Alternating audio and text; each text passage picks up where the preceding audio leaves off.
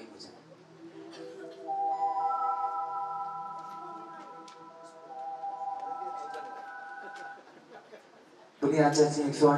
सागर जी महाराज की। सौ आठ सौरभ सागर जी महाराज की। जी कारा गुरुदेव का। एक बार अपने दोनों हाथों को उठा जोरदार जयकारा लगाएँगे बोलिए मुनि श्री सौरभ सागर जी महाराज की। आएँगे गुरुदेव किसी चरणों में चले। बैठा है इनकी भक्ति में। लगे चार चाँद हस्ती में। जो भी गुण सौरभ सागर के गाते हैं। उनके चर्चे गली बस्ती में। ज़िंदगी में उनके बदनाम हो गया। तालियों साथ चाहूँगा। उठाने अपने दोनों हाथों को। ज़िंदगी में उनके बदनाम हो गया। जिसको सौरभ सागर से लगाव हो गया, वो जिसको सौरभ सागर से लगाव हो गया, वो पूरी ज़िंदगी से घर अभाव हो गया, वो पूरी ज़िंदगी से घर अभाव हो गया।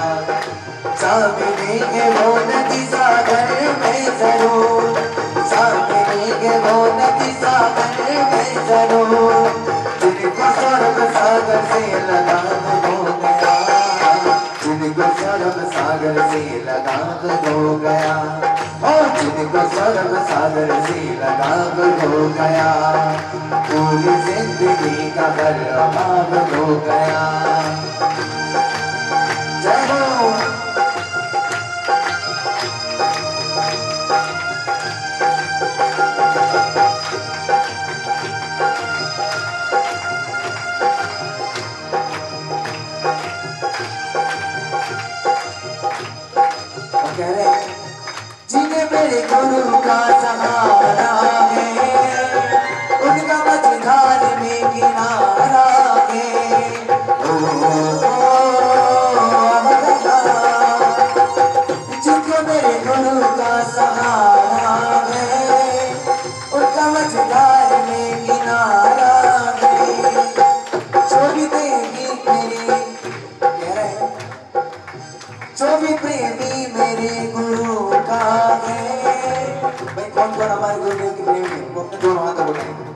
उठाएँगे अपने हाथों को और जो अपने हाथों को ना उठाएगा उसको उसके पड़ोसी की कसम उठाएँगे और हमारे साथ गाएँगे पहुँचेंगे मेरे गुरु का है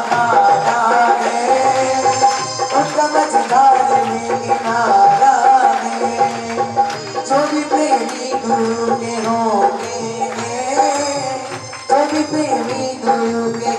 के हिम्मत न कभी हिम्मत न हारेंगे चावली वो नदी सागर में ज़रूर। चावली वो नदी सागर में ज़रूर। जिनका में जिनको स्वर्ग सागर से लगाव हो गया। पूरी ज़िंदगी का हर भाव हो गया। जिनको स्वर्ग सागर से लगाव हो गया।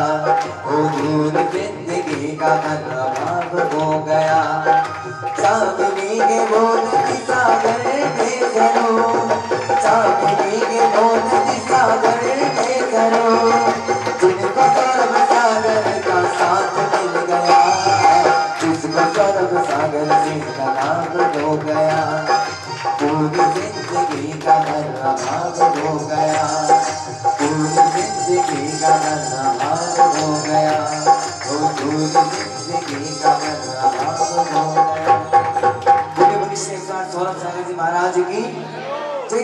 गुरुदेव का बहुत धन्यवाद मोनू भाई का एक बार जोरदार ताली मोनू भाई के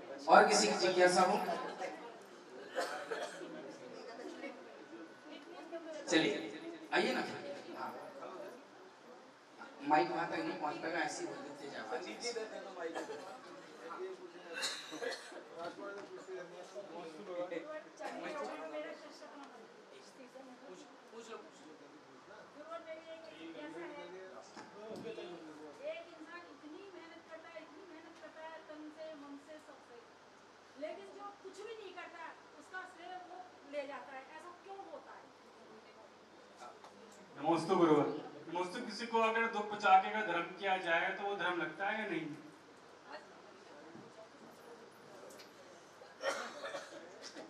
नमस्ते नमस्ते। गुरुदेव।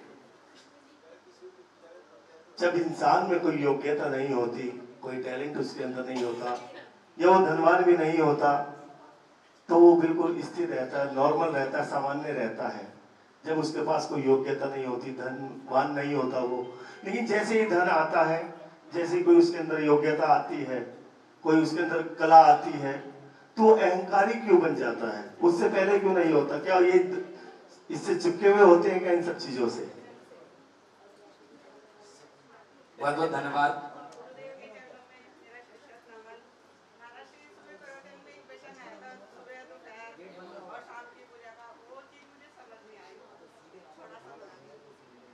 चल- कल के लिए बच्चे रंग दो कुछ आइए जयकारा गुरुदेव का। विदेशी सौरभ सागर जी महाराज की कल ये आए ना आज इसलिए आज निपट रहे हैं निपटने दो आज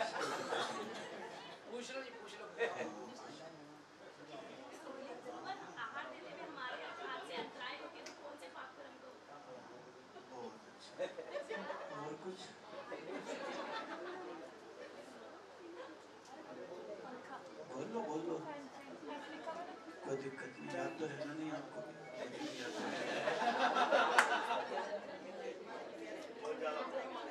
चलिए कोई बात नहीं ये तो थोड़ी देर बातें करने का एक अवसर मिल जाता है। लेकिन कभी कभी कुछ प्रश्न ऐसे होते हैं, जैसे लगता है जैसे बड़े परेशान हो लोग।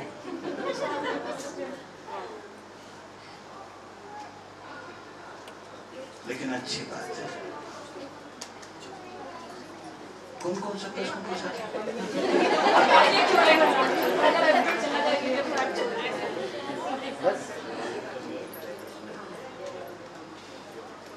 चलिए तो गनीमत समझो, पूजा छोड़ के जा रहा, घर छोड़ के निकल रहा।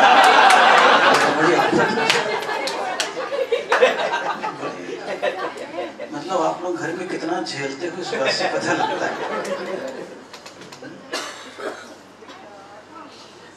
जबकि नाम है हस्बैंड। नाम नहीं मतलब पहचान है, क्या है? हंस के जो पत्नी के सामने हो जाए, बैंड उसका नाम। है और ये मोल्ड करना चाहिए।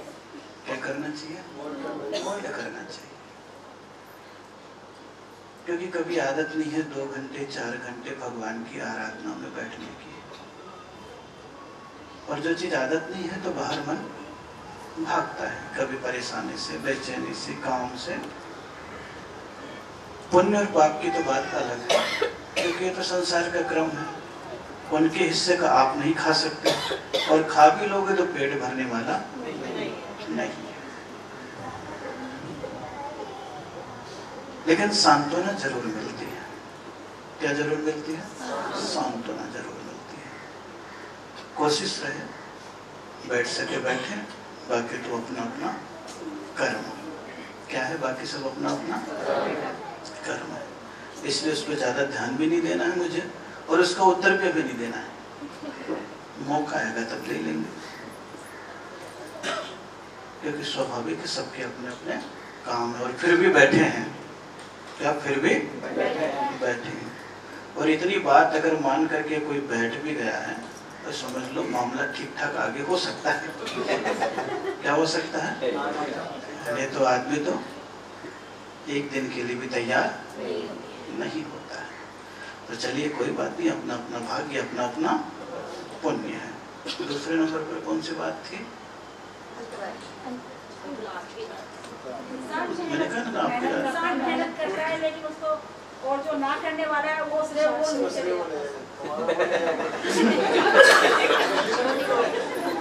ये बताओ हवा चलती है तब पत्ते हिलते हैं या पत्ते हिलते हैं तब हवा चलती है हवा चलती है तो हवा चलती है तो मेहनत कौन कर रहा है? नाम किसका हो रहा है? खत्म कम ये दुनियादारी है ये क्या है? ये क्या है? दुनियादारी ये तो कभी कभी दुनियादारी को देख करके विकल्प नहीं लाया करो। तो तीसरा क्या है?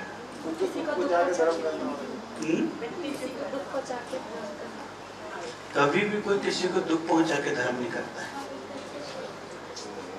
कभी भी नहीं करता। दूसरे आदमी के अहंकार को तृप्त नहीं करता है तो ऐसा लगता है उसने हमें दुखी किया। क्या? उसने आपके अहंकार को तृप्त नहीं किया तो इसलिए लगा दुखी हुआ। दुख किसे बोलते हैं? मारा, पीटा, कष्ट दिया, अपमानित किया? नहीं। जो तुम चाह रहे थे, वो उसने करने नहीं दिया। तो तुम्हें क्या पहुँच गया? अपन क्या सोचने लगे? दुख पहुँचा के धर्म किया। अगर अपना अहंकार नहीं होता, अपनी इच्छाएँ नहीं होती तो सामने वाला क्या कर लेगा? दुखी पहुँचा ही नहीं सकता। धर्म करने वाला अपना काम कर लिया। क्या कर लिया? अपना काम कर लिया। लेकिन हाँ अगर वही चीज़ और अपनेपन के साथ और मित्रता के साथ, गहनता के साथ, आदर के साथ आ जाती तो शायद उसका भी धर्म हो जाता, बढ़ जाता, और जो उसके साथ लगता, उसका भी मन दुगनी खुशियों से भर जाता। इसलिए दूसरे को दुख पहुँचा के उसने धर्म नहीं किया। दूसरे को दुख पहुँचा के उसने धर्म तुम्हारी आकांक्षा को तृप्त नहीं कर सका, इसलिए ऐसा महसूस हो जाता है कभी कभी उसने हमें दुखी किया। इसलिए सोच के ढंग को कभी कभी बदलना पड़ता है। जैसे हवा चलती है तो पत्ते हिलते हैं, पत्ते हिलते तो हवा चलती है। अपने आप अंदाज लग जाएगा। पत्ता हिलता हुआ दिख रहा है, हवा चलता हुआ नहीं दिखता। कभी कभी करने वाला नहीं दिखता। है लेकिन उसके माध्यम से ही कार्य होता है। जैसे कहते हैं साइलेंट क्या होता है? अंग्रेज़ी में पाँच वर्ड छह अक्षर ऐसे हैं ना, जो साइलेंट होके काम करते हैं। कितने अक्षर हैं? पाँच सात अक्षर है ना? कौन कौन से हैं? ए ए आई ओ बस, ऐसे कई लोग साइलेंट अक्षर होते हैं पूरा काम करते हैं। उनका मौके भी याद आ जाती है। और उनका ही सूत्र बनता है। बाकी अक्षरों के कोई सूत्र नहीं है, छब्बीस अक्षरों के। साइलेंट अक्षरों के ही सूत्र हैं। तो कभी कभी ऐसा भी होता है। चलिए और कौन सा था? मेरा था। मेरा था। अपने बताते जाओ ना जिसको क्वेश्चन दोनों का फिफ्टी फिफ्टी परसेंट कितना कितना है? फिफ्टी फिफ्टी परसेंट है। लेने वाले का लाभांतराय कर्म और देने वाले का दानांतराय। किस किस का? देने वाला दे रहा है। अंतराय आ गया तो दान में विघ्न पड़ गया। और लेने वाला ले रहा है, लेकिन बाल के कारण से नहीं ले सका। तो दोनों का कौन सा कर्म आ गया? एक का दानांतराय और एक का तो दोनों फिफ्टी फिफ्टी मिल जाते हैं तो मामला गड़बड़ हो जाता है। इसलिए कर्म दोनों के होते हैं। आज नहीं तो कल खाने नहीं दिया होगा। आज बदला चुका लिया। हाँ तभी तो आएगा अन्यथा क्यों आएगा?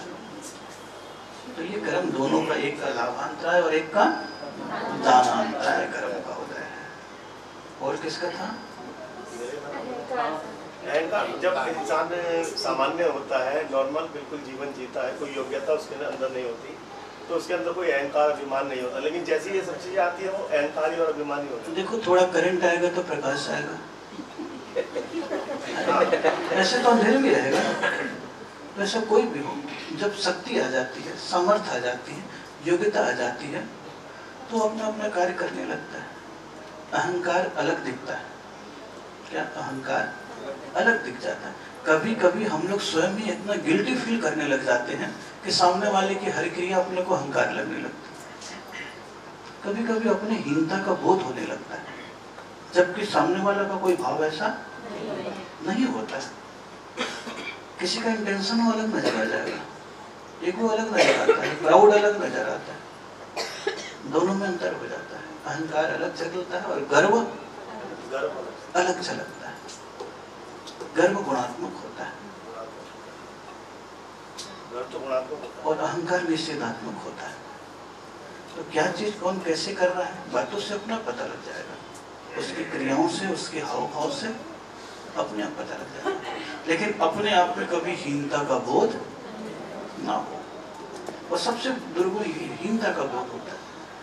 कई बार देखो अभिषेक करने का मौका आता है किसी ने बोली लेके कर ली। और सामने जो नहीं करता वो क्या बोलता? "हम्म, पैसा दिखा के ऐसे तो मंदिर में आता नहीं और आज बोली लेके कर लिया। बोलता है कि नहीं? उसको लगता है वो दिखा रहा अहंकार कर रहा और मैं उससे पूछना चाहता हूँ, जो सोच रहा है, तुम्हें तो रोज भगवान के अभिषेक करने का मंदिर में मौका मिल रहा, वहाँ क्यों नहीं कर रहा? वहाँ क्यों नहीं कर रहा?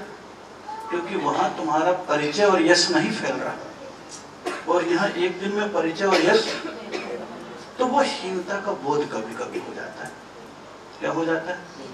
हीनता का। उस समय तो ये सोचना चाहिए, भगवान इसको तो बोली लेके अभिषेक का मौका मिल गया। अब जब तक मुझे बोली लेके अभिषेक का मौका नहीं मिलेगा, तब तक मैं मंदिर में रोज फ्री में अभिषेक करूँगा। जीवन बदल जाएगा। क्या बदल जाएगा? वो तो सोचता नहीं। और उल्टा सोचने लग जाता है। तो इस सोच का ढंग है। सकारात्मक, नकारात्मक, कोई पावर की चीज़ नहीं है, कोई हवा की चीज़ नहीं ये सब कभी कभी इसको महावीर ने कर्म कहा। है कर्मों के नाम आता है अनादे नाम कर्म अयस कीर्ति नाम कर्म। कौन कौन सा कर्म है? अनादे नाम कर्म। हम कितना भी अच्छा करें, लेकिन कोई उसको शाबाशी नहीं देता। और अयस कीर्ति कर्म, कितना भी हम हाईलाइट होना चाहें, लेकिन अपने आप ही मामला दब जाता है। और कई लोग लोग कुछ भी नहीं करते, ठाले बैठे रहते हैं, फिर भी नाम होता रहता है। ठाले बैठे रहते हैं, फिर भी लोग उससे ही व्यापार करते हैं, बाकी दुकान खोल के बैठा हुआ है।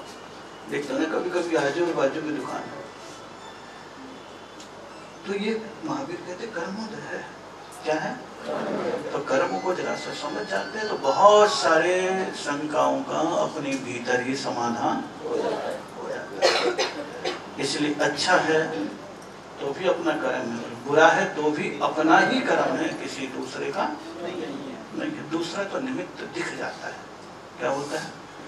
उस निमित्त को देखना, स्वीकार करने में बहुत बड़े साहस की आवश्यकता पड़ती है। और ये सबके साथ होता है। ये आपके साथ ही नहीं हम लोग के साथ भी हो जाता है। क्योंकि हम लोग भी कई बार मेहनत करेंगे, उसका यूँ फल नहीं मिलेगा, यूँ यश नहीं मिलेगा, यूँ लाभ नहीं मिलेगा। होता है कि नहीं कभी कभी? तो साधु के लिए भी होता है, ग्रस्त के लिए भी होता है। साधु ग्रस्त क्या? भगवान के लिए भी हो जाता है। किसके लिए हो जाता है? तीर्थंकरों के लिए भी कर्म का उदय। इसलिए कभी भी कर्म का उदय जब जब आए तो हम्म, हम्म, हवा आती है ना? थोड़ी देर के लिए हवा लगती है। अपन कमज़ोर हो तो ठंडी लगती है और फुलोरी आ जाती है। अपन मज़बूत हो तो हवा आती है और टकराती है और ऐसे ही संसार की चीज़ें आती है टिकती है और अच्छा और बुरा तो निरंतर चलता रहता है। लेकिन हाँ दुनियादारी में रहते हैं तो कभी कभी उस प्रकार की भावनाएँ और अपेक्षाएँ रहती है।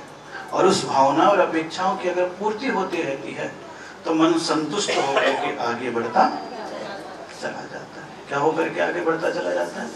संतुष्ट होकर के आगे बढ़ता चला जाता है। आइए, बहुत सारी बातें हो गई आज।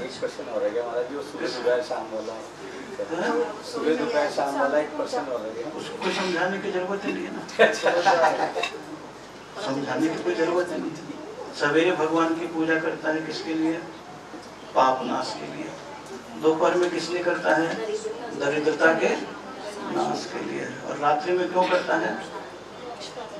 मुक्ति की प्राप्ति के लिए, क्योंकि रात्रि अंधकार रूप है।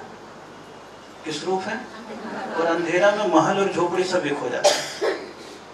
अंधेरे में महल और झोपड़ी। उसी प्रकार उसके जीवन में ध्यान और साधना आती है तो सब रात में से हो जाते हैं। हटाओ झंझट। दोपहर में वो भगवान की पूजा कर रहा तो नियम से उसे अपने दुकान का या घर का काम छोड़ के आना पड़ेगा। और जो भगवान के काम के लिए संसारिक काम छोड़ता है, महावीर कहते हैं, उसका पुण्य सौ गुना ज़्यादा बढ़ता है। ये संसारिक नियम है। जैसे हम लोग के लिए कहा ना, प्रतिकूल परिस्थिति में अगर साधना करते हो तो जो अनुकूल परिस्थिति में चतुर्थ काल में साधना करते थे, सौ साल की साधना का पुण्य, पंचम काल की एक साल की साधना का पुण्य है। क्यों बताया? बोले, प्रतिकूलता में साधना। उसी प्रकार ग्रस्त जीवन का बताया कि दोपहर में उसके व्यापार का समय है, परिवार का समय है। उस समय क्या कर रहा है? क्या कर रहा है? भगवान की पूजा, आराधना कर रहा है। ये तो हम लोगों ने नियम बना दिए, पंचम काल के श्रावकों ने। कि मंदिर में सवेरे ही पूजा होगी, दोपहर शाम को नहीं होगी। शास्त्रों में कोई नियम नहीं है। कोई नियम नहीं है। इसलिए जब कभी भी पूजा, पाठ, विधान या रथ यात्रा होती है, आप पाँच बजे तक अभिषेक पूजा करते हो कि नहीं करते करते अगर शास्त्रों का नियम होता तो फिर तो आप कभी भी जुलूस निकाल के अभिषेक शाम को नहीं कर सकते। थे कर सकते थे क्या? नहीं कर सकते। इसलिए ये नियम तो हम लोग पंचम काल के लोगों ने बनाया। शास्त्रों में तो इतना लिख दिया है, सूर्योदय के 48 मिनट बाद से लेकर के सूर्यास्त के 48 मिनट पूर्व तक तुम अभिषेक, पूजा, पाठ, धर्म, कर्म सारा कर सकते हो। और करते भी हो। अगर यही नियम होता साधु का कि सवेरे ही आहार करेंगे समय के पहले तो फिर क्या हो जाता? है? कभी कभी तीन बजे करना पड़ता है। करना पड़ता है। नियम क्या है? चौबीस घंटे में एक बार। कितने घंटे में? उसमें भी दिन में। उसमें भी क्या है? उसमें भी दो घड़ी बाद और दो घड़ी पहले। ये सामान्य नियम तो नियम तो फिर हम लोगों ने बना दिया कि साढ़े नौ बजे उठेंगे। किसने बना लिया हम लोगों ने बनाया। कोई शास्त्रों में नहीं लिखा। शास्त्रों में तो लिखा है, जब तुम्हें जाना जाना, लेकिन एक बार ही जाना। कितने बार जाना? ये तो आप लोगों को दुनिया का काम रहता है, इसलिए हम लोग को पहले निपटना पड़ता है। क्या करना पड़ता है। पहले निपटना पड़ता है। ये तो पहले के महाराजों का क्या था?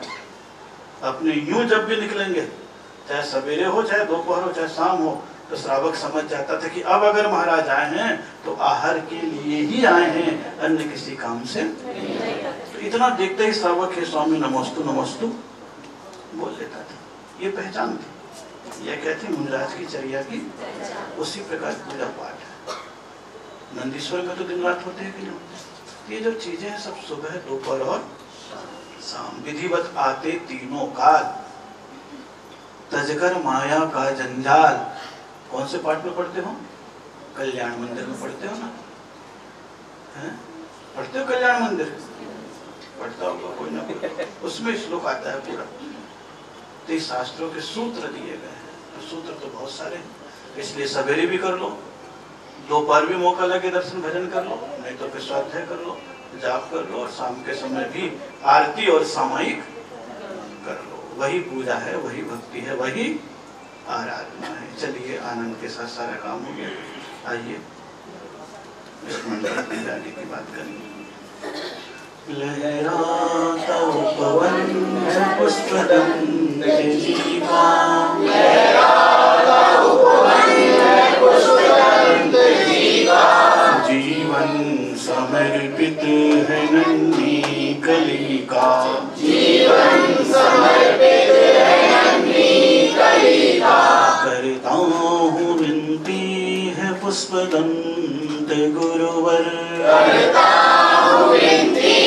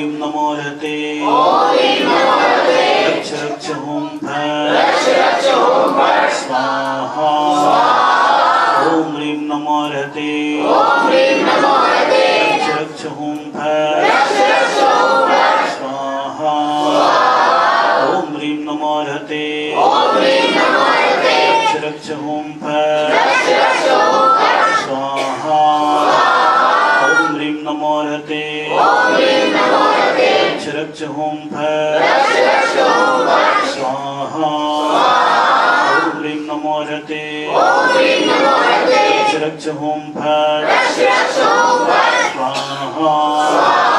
ओम ह्रीं नमो रते रक्ष रक्ष होम फट स्वाहा। ओम ह्रीं नमो रते रक्ष रक्ष होम फट स्वाहा। ओम ह्रीं नमो रते रक्ष रक्ष होम फट स्वाहा। ओम ह्रीं नमो रक्ष होम फट स्वाहा। के पूर्व एक माला अवश्य ही फेर लेंगे। आपस में ही जय। सौरभ सागर जी महाराज की जय।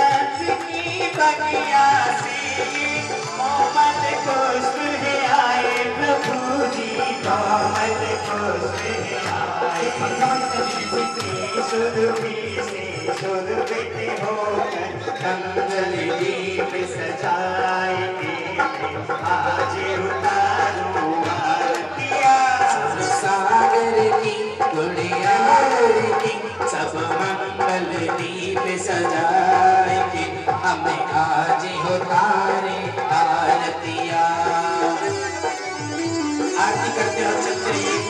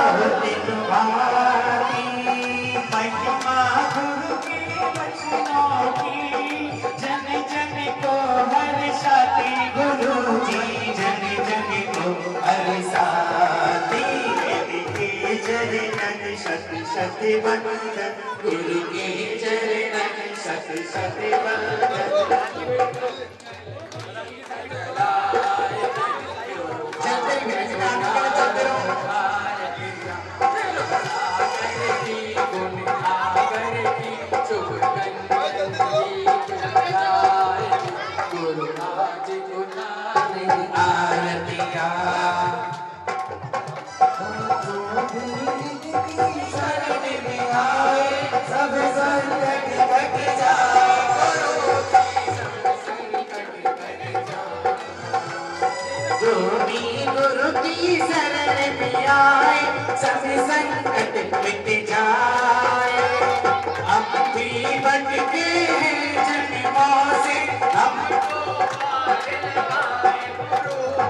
हमको पार लगाए तेरे विनती करे तो अर्ज़ करे सिंह कंचन दीप जलाए के हम आज उतारे आरतिया सागर की गुड़ियागर की शुभ कंचन दीप सजाएँगे आज उतारो आरतिया सागर की गुड़ियागर की शुभ कंचन दीप का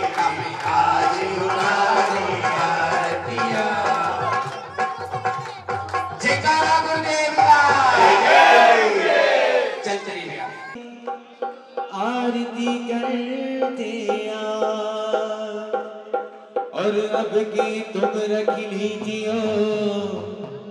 ये लाज आपके हो प्रभु को उठाया हाथी पे बिठाया। प्रभु को उठाया हाथी पे बिठाया।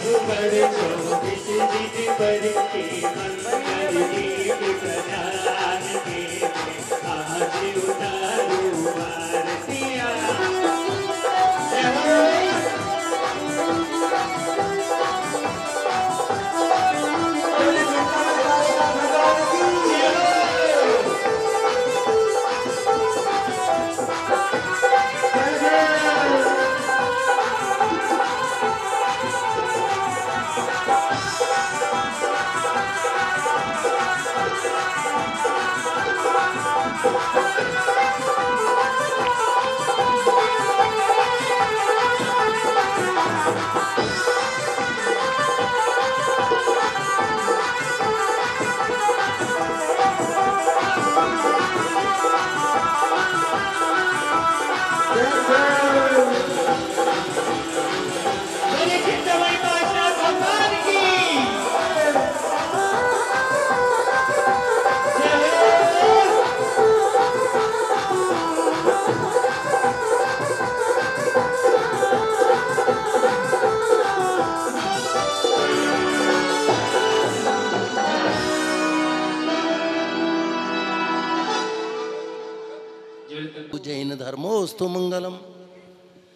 महानुभावों, परम पूज्य मुनि श्री सौरभ सागर जी महाराज के सानिध्य में हम इच्छित फलदाता कल्पद्रुम महामंडल विधान के निमित्त से जिनार्चना कर रहे हैं।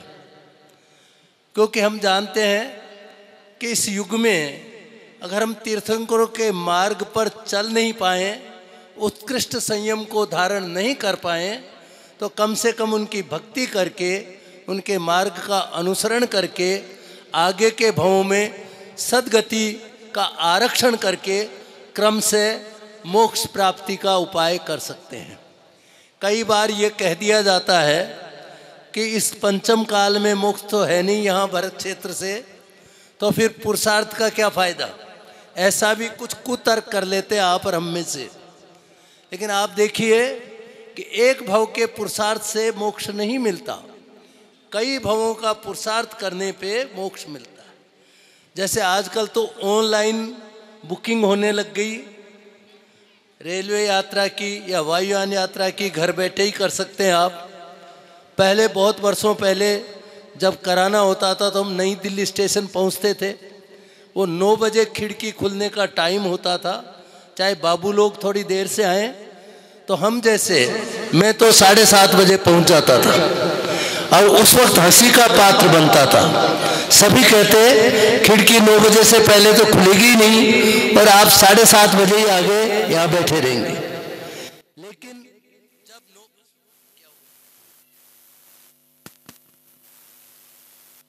हेलो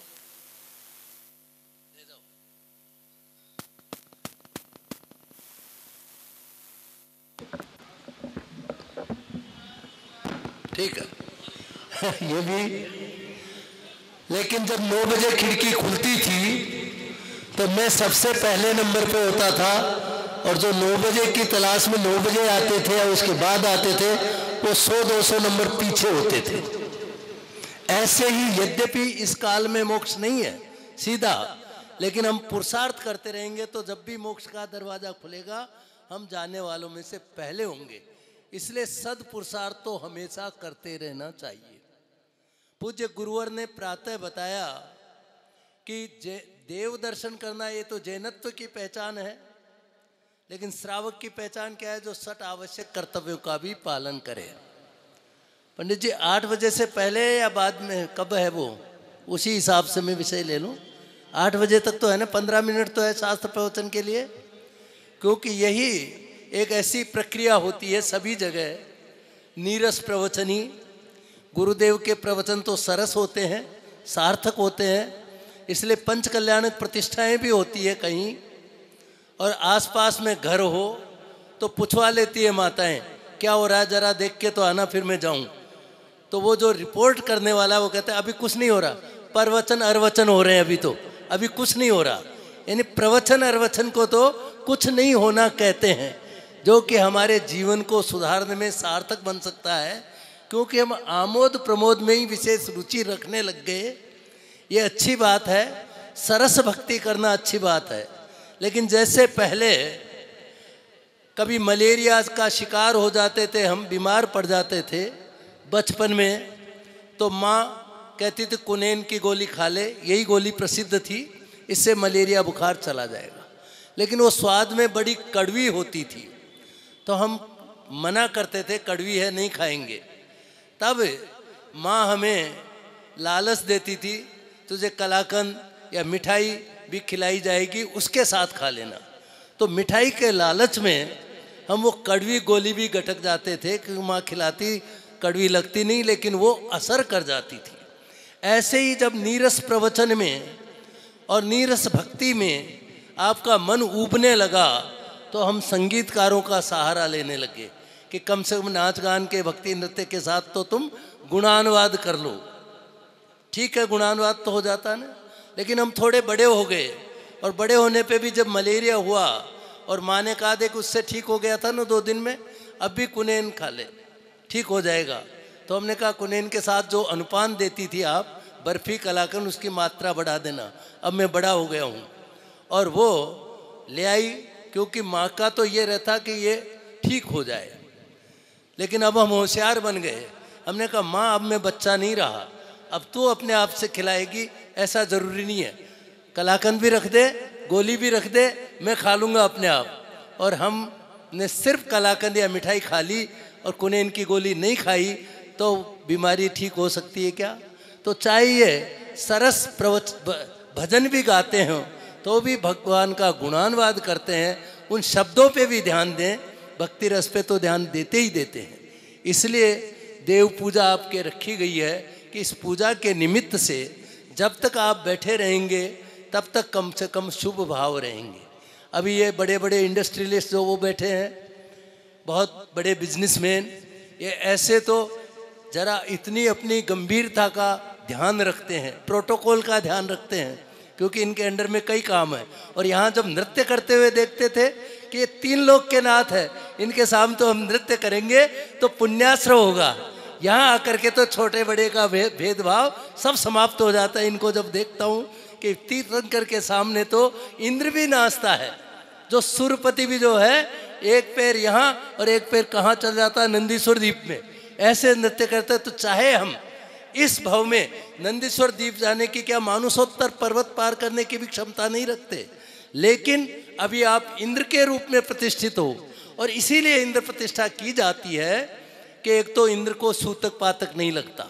जब विधान में बैठ जाएँगे हम, उसके बाद कोई खुशखबरी आ जाए, आपके पोता हो गया है तो हो जाए भाई। मुझे कोई डिस्टरबेंस नहीं होगा, क्योंकि यहाँ शुद्ध भोजन की भी व्यवस्था है, घर में नहीं, और मुझे पातक नहीं लगेगा, सूतक नहीं लगेगा। और दूसरी बात, इंद्र समानन भक्त है। भक्ति में तो इंद्र ही ज़्यादा श्रेष्ठ माना गया है, क्योंकि उसको विक्रियादि प्राप्त है।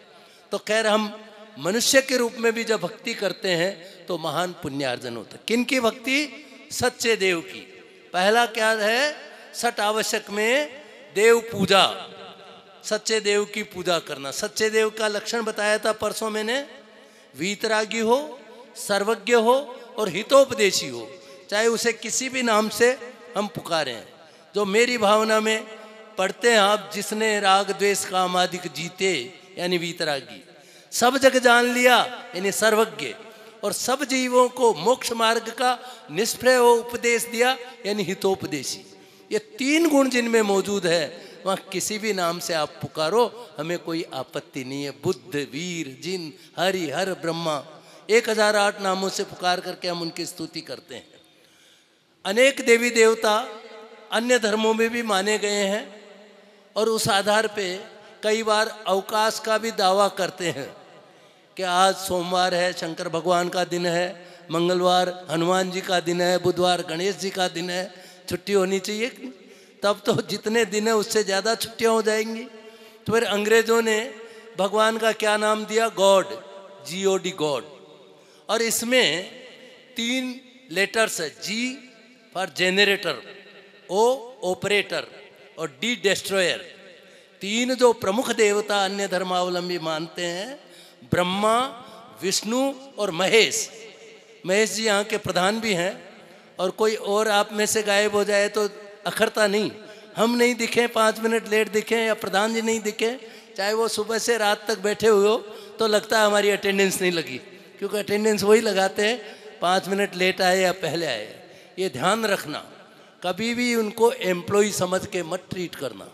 जिनको भी आप बुलाएँ, जैसे हम ना, क्योंकि एम्प्लॉय समझ लोगे तो आप वो नहीं सीख पाओगे जो अंतर मन से वो सिखाना चाहता है। ये तो और ही जगह, इसीलिए आज गुरुओं का वो सम्मान नहीं रहा, तभी गुरु भी ट्यूशनबाजी करने लग गए और इस तरह से नहीं सिखाते अंतर मन से, जिससे वो वो हो जाए। चंद्रगुप्त और चाणक्य का आपको पता होगा, चाणक्य चंद्रगुप्त के गुरु थे। चंद्रगुप्त का साम्राज्य स्थापित करने में चाणक्य का ही महत्वपूर्ण स्थान था। एक बार का प्रसंग, सशस्त्र पठानों ने उन दोनों का पीछा किया। वो बचने के लिए भागे भी, लेकिन वो तो घोड़े पे सवार थे। भाग के कहाँ जाते? भागते भागते सरोवर के किनारे पहुँच गए। तब चाणक्य कहते हैं भाई, अब हम पकड़े जाएँगे और मारे जाएँगे। दुश्मन तो थे ही। क्या करें? तो चाणक्य चंद्रगुप्त से कहते हैं, इस सरोवर में कमल खिले हुए हैं, तुम कमल के पत्रों के पीछे अपने आप को छिपा लो, मैं निमट लूँगा उनसे। लेकिन वो ऐसा शिष्य था, गुरुदेव, आपको रिस्क में छोड़ करके मैं कहूँ, अपनी जान बचाऊं, ये नहीं हो सकता।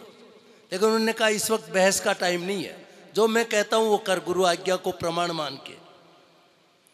चला गया, चंद्रगुप्त, कमल पत्रों के पीछे अपने आप को छिपा लिया।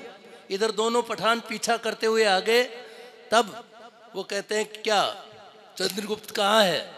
चाणक्य ने कहा वो देखो, कमल पत्रों के पीछे छुपा हुआ है, पकड़ो और मारो।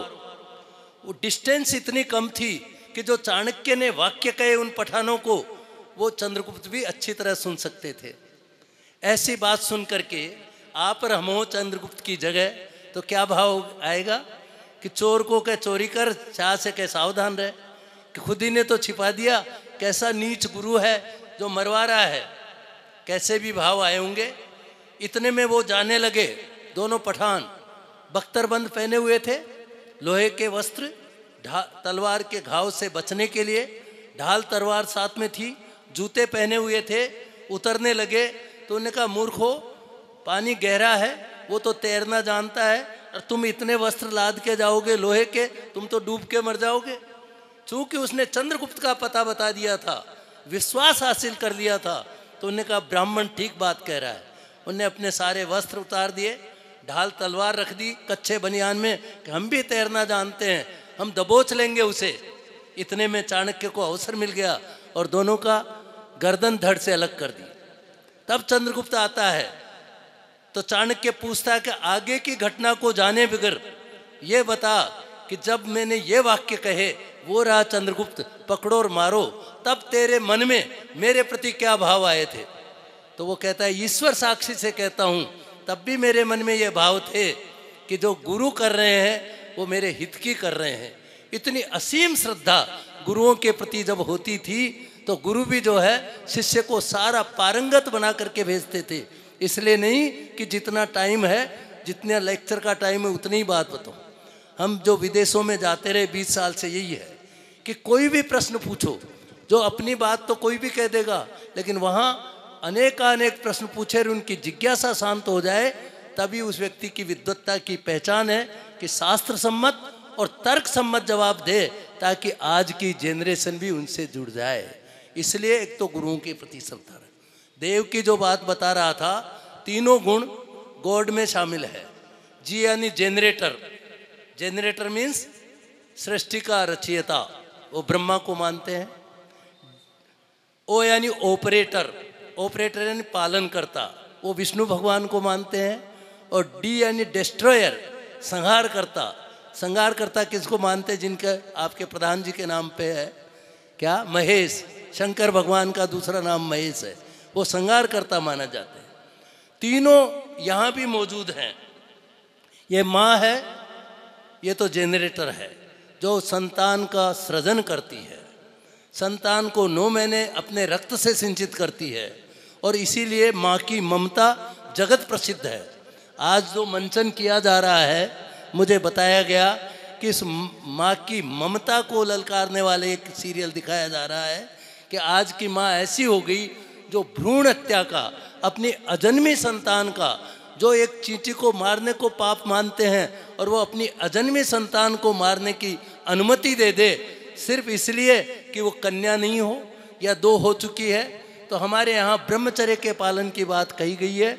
अगर कोई गर्भस्थ आ जाता है तो उसका पुण्य साथ लेकर के आता है, चाहे वो लड़की हो या लड़का हो। और ये भी हमारी व्यवस्था बनाई हुई है। विदेशों में भी और यहाँ भी पाश्चात्य संस्कृति से हम कुत्ते बिल्ली पालने के आदि हो गए हैं। और नस्ल के हिसाब से उसका पेमेंट भी करते हैं, दस हज़ार, बीस हज़ार, जो भी अलग अलग नस्ल का कुत्ता होता है। आप अपनी संतान को तो गोद में लेने में संकोच करती है क्रेसेज में भेज देती हैं, वहाँ ऐसे हाउसेज होते हैं, दोनों सर्विस करते हैं तो उनके जिम्मे कर देते हैं और स्तनपान भी नहीं कराती, बोतल पकड़ा देते हैं। जब वो बेटा हाथ में बोतल लिए, झूमता हुआ आया, शराब की बोतल पीते हुए माँ ने थप्पड़ मारा कि माँ, थप्पड़ किस बात में मेरे सामने शराब पी रहा है। अरे, आपके स्तन का, आपके दूध का मेरा हक था। वो आपने छुड़ा के उस वक्त दूध की बोतल पकड़ा दी थी। फिर पिताजी ने कैंपा कोला की बोतल पकड़ा दी और आपकी देखा देखी हम जब क्लब्स में जाने लगे तो वहाँ दोस्तों ने ये बोतल पकड़ा दी। माँ सबसे पहले बोतल तो तूने पकड़ाई है, अगर वो नहीं पकड़ाई होती और अपना स्तनपान कराती तो वो माँ की ममता उसमें उंडेल देती है। तब बच्चे ऐसे नहीं होते कि बूढ़ा वृद्धाश्रम भेजने की वो सोचे। कहीं न कहीं हमारी भी गलती है कि बच्चों का लालन पालन संस्कार सहित करें, तब वो इसलिए माँ तो ब्रह्मा का रूप है, पिता जो है पालन करता है, वो विष्णु का रूप है। अब डिस्ट्रॉयर कौन बनेगा? संगार करता तो कोई बनेगा ही नहीं ना। ये रोल तो विलियन का रोल कौन लेगा? डिस्ट्रक्शन का मतलब जैन दर्शन में संसार को समाप्त करना नहीं है आपका संसार समाप्त हो जाए। दोनों में अंतर है ना? संसार सम, ये तो ऐसा कैसा ही रहेगा लेकिन आपका संसार समाप्त होने का मतलब आप संसार से मुक्त होकर के मोक्ष चले जाएँ और ये डिस्ट्रक्शन का काम करते हैं हमारे परम पूज्य मुनि श्री सौरभ सागर जी महाराज का अगर तुम्हें संसार समाप्त करना है तो मेरे पास आ जाओ। इसलिए गॉड शब्द में तीनों है, उनको आप ध्यान दें। आठ बजने वाली है। मुझे डर लगता है क्योंकि और चाहे कैसा बोला जा रहा है, क्यों बोला जा रहा है, इसकी प्रशंसा करें या नहीं करें, लेकिन एक मिनट ज़्यादा हो जाए तो टोक देंगे, आप टाइम ज़्यादा ले लेते हो। ये भी हैं, एक वो सज्जन थे ना, महामंत्री थे, उनने भी यही पहले दिन कहा, सर, टाइम का ध्यान रखना। मैं कहता हूँ, आप चाहे माइक स्टार्ट करने का टाइम का ध्यान रखें या नहीं रखें, साढ़े सात दे पाएँ या नहीं पाएँ, लेकिन आठ बजे मैं कर देता हूँ। मुझे अपनी विद्वत्ता प्रदर्शित करने का कोई नहीं है और आ, है भी नहीं। आप ही के बीच में हूँ। नवीन शादरा जैन मंदिर के पास रहता हूँ और 45 साल यूनिवर्सिटी में इतना बोल चुका कि अब बोलने की भी अपेक्षा नहीं है। लेकिन संस्कार देने के लिए जहाँ भी आवश्यकता हो, अब मैं फ्री हूँ।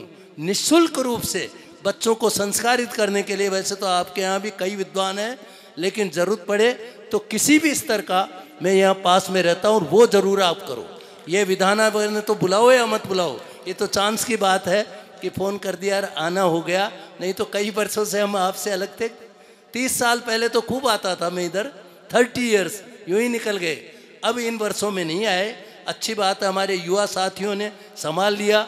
हमें रिटायर भी होना चाहिए, वो भी तभी तो ये नए आ जाएँगे, लेकिन फिर भी वो बच्चों को शिक्षा देने के लिए और धार्मिक शिक्षा इतनी आवश्यक है।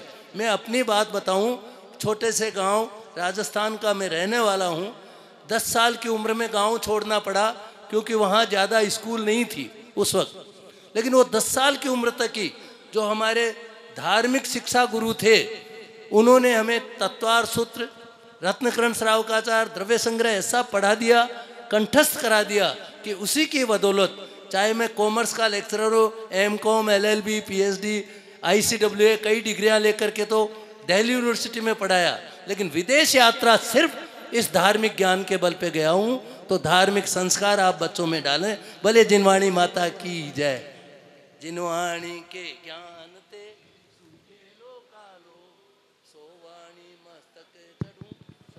हे जिनवाणी भारती तो है जपो दिन रैन।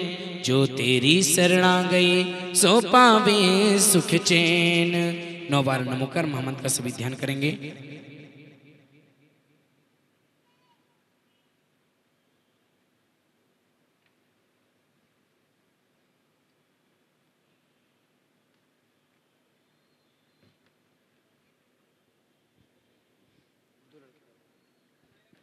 द्वादशांग जिनवाणी माता की जय। सिमजनंद कल्पद्रुम महामंडल विधान की जय। मुनि श्री एक सौ आठ सौरभ जी महाराज का चौमासा चल रहा है, भक्तिमय आराधना चल रही है। नवरात्रि का बहुत ही सुंदर प्रसंग, उस प्रसंग में समूसरण महामंडल विधान की आराधना। चतुर्मुखी भगवान विराजमान हुआ करते हैं समूसरण में। चतुर्निकाय देव आया करते हैं से समोसरण की आराधना हम सभी और आप मिलकर कर रहे हैं। संध्या कालीन की बेला है। संध्या कालीन की बेला में आरती के माध्यम से, प्रभु की मंगल आरती के माध्यम से आप सभी ने और हमने इस संध्या कालीन की बेला को आगे बढ़ाते हुए, पंडित जी साहब ने प्रवचन के माध्यम से आपको ज्ञानार्जन करते हुए और आज हम आपको जोड़कर चलेंगे नाटक के माध्यम से। यहाँ की कमेटी विराजमान है, सभी भक्तगण विराजमान है। बहुत दूर दूर से भक्तगण पधारे हुए हैं। सभी का बहुत बहुत धन्यवाद करते हैं, सभी को चरण वंदन करते हैं। भगवान आदिनाथ से लेके भगवान महावीर स्वामी के चरणों में नमन करता हूँ। आचार्य संघ के चरणों में नमन करता हूँ। मुझे जैन कुल में जन्म देने वाले मेरे माता पिता उनको भी प्रणाम करता हूँ, चरण वंदन करता हूँ। आदरणीय पंडित जी साहब विराजमान हैं, सरस्वती पुत्र विराजमान है, उनको भी नमन करता हूँ, माँ जिनवाणी माता को नमन करते हुए। जिनवाणी वंदना के साथ शुरुआत करते हैं, सभी को नमन करता हूँ, सभी बहुत अच्छी संख्या में यहाँ पर विराजमान हैं।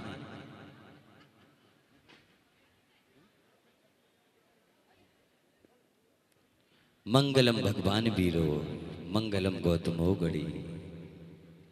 मंगलम पुष्प दंत्याद्यो जैन धर्मोस्तु मंगलम, जैन धर्मोस्तु मंगलम, जैन धर्मोस्तु मंगलम। हमारी संगीतकार भैया तैयार हैं।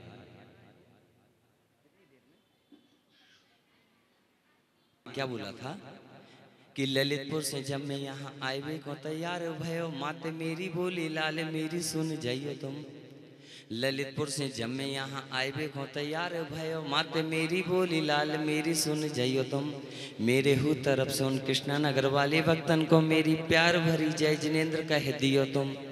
मुनि श्री सौरभ सागर जी महाराज को प्रणाम कर।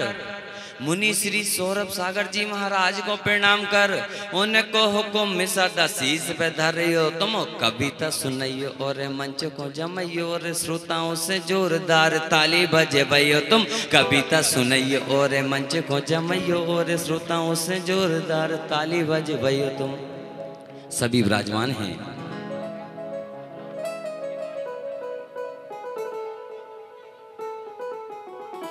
और मैं कैसे नमन करूँगा चौबीस तीर्थंकर भगवान के चरणों में? क्या कहूँगा कि आदिनाथ पार्शनाथ नाथन के नाथ भगवान, शांतिनाथ मेरी आपको प्रणाम है। आदिनाथ पार्श्वनाथ नाथन के नाथ, भगवान शांति शांतिनाथ मेरी आपको प्रणाम है। छोड़े राज पाट धन, वैभव, विलास, सुख, त्याग, तेज, पुंज, चंद, प्रभु को प्रणाम है। सत्य और अहिंसा, अस्त और अप्रग्रह सत्य और अहिंसा, अस्त और अप्रग्रह ब्रह्मचारी त्याग, तेज, तप को प्रणाम है। तिसला के लाल, मेरे भारत के भाल भगवान महावीर, मेरी आपको प्रणाम है। तिसला के लाल, मेरे भारत भाल भगवान महावीर, मेरी आपको प्रणाम। हमारे बीच में सरस्वती पुत्र विराजमान है। निवेदन करता हूँ कि एक जिनवाणी वंदना के साथ आज शुरुआत कीजिए। उसके पहले सभी से निवेदन करता हूँ कि अपने दोनों हाथों को उठाइए, आकाश की ऊंचाई और भगवान आदिनाथ की जयकारे में शामिल हो जाइए। बोलिए आदिनाथ, भगवान की। आनंद नहीं आया। आनंद नहीं आया। आनंद कैसे आएगा? अंतरंग भावों के साथ आएगा। अपने दोनों हाथों को अगर लेकर आए हैं तो साक्षात्ता यहाँ पर हमें दिखाइए। और आदिनाथ भगवान की जयकारे में शामिल हो जाइए। बोलिए, आदिनाथ भगवान की बोले महावीर भगवान की बोले संत शिरोमणि आचार्य श्री एकसाठ विद्यासागर जी महाराज की बोले आचार्य श्री एकसाठ पुष्पदंत सागर जी महाराज की बोले श्री एकसाठ सौरभ सागर जी महाराज की जय। जिनवाणी मात की। जय हो। और चलते हैं जिनवाणी वंदना की ओर। जिनवाणी वंदना की ओर चलेंगे। नमो अरिहंताण नमो सिद्धाण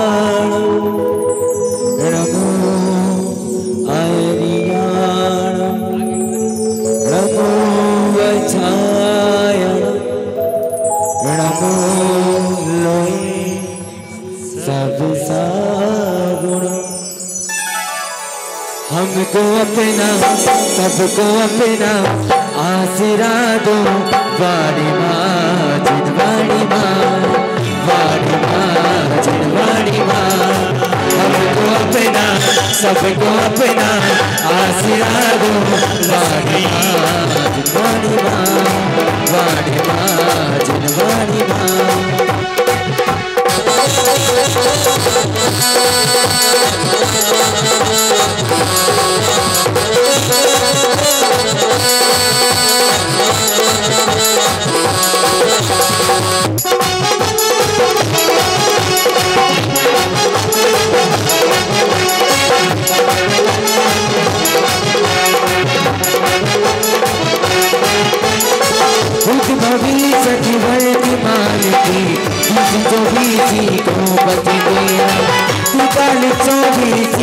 जगत में रघति रामा।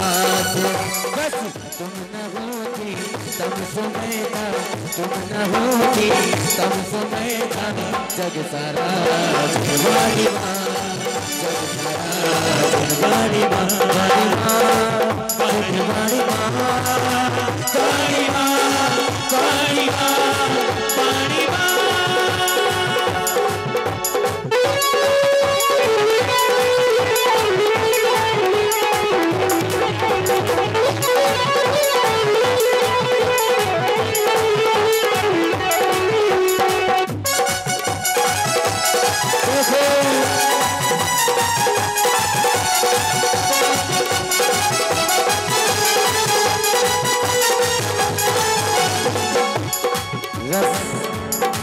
का रस जिसे पाकर हो गए हम पारस हो तुमसे लागे लगन। हो तुमसे लागे लगन, ले लो अपनी शरण। पारस प्यारा। ओ मिठो मिठो हमारा ओ मिठो मिठो जी संकट हमारा ओ अब तारे रोज महावी तारे रोज जनोही तारे रोज महावी तारे रोज लगन ओ भक्ति मगन पारस प्यारा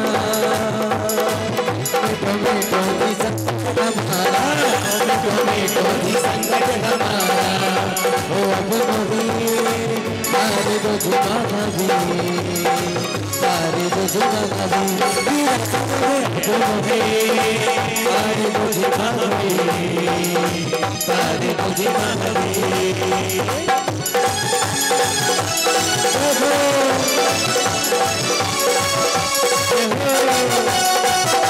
हमको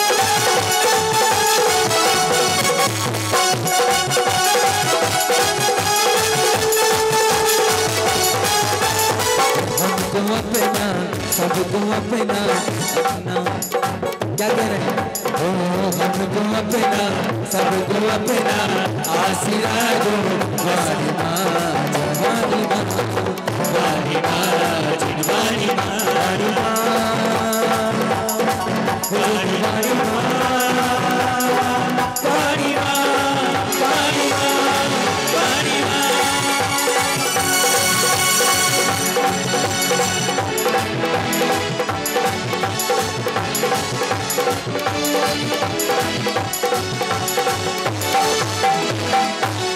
बोले आदिनाथ भगवान की। कल देखेंगे आप महामंत्र नमोकार के ऊपर। बहुत ही सुंदर नाटिका। परसों आप देखेंगे देवराज इंद्र की सौधर्म सभा। उसके बाद आप देखेंगे चौथे दिन महाराज के राजमहलों की कहानी। तीर्थंकर के महलों की कहानी कैसी सेवा होती है? क्या होता है? जब तीर्थंकर बालक का जन्म होता है तो भोगो भोग की सामग्री स्वर्ग से आया करती है। उनके पूरे जीवन काल की जो भी सेवाएँ होती हैं, सब स्वर्ग के द्वारा सौ धर्मेंद्र की आज्ञा से होती है। पाँचवें दिन आप देखेंगे चक्रवर्ती का दरबार। एक ऐसा दरबार जो हमको और आपको कुछ ना कुछ सिखाएगा। लेकर चलते हैं बगैर किसी भूमिका के। कन्या भ्रूण हत्या पर आधारित नाटिका। लाइटमैन से निवेदन है लाइट पंडाल की बंद कर दें। लाइटमैन आवाज़ सुन रहे हो तो पंडाल की लाइट बंद कर दें। अभित्री। आई। आ रही है। सावित्री आप परिवार में आई हैं। एक वर्ष हो चुका है। सभी आपसे खुश हैं। मैं भी आपसे प्रसन्न हूँ। बस यही इच्छा चाहता हूँ कि जैसा मैं कहूँ वैसा आपको चलना पड़ेगा। मैंने कब मना किया है?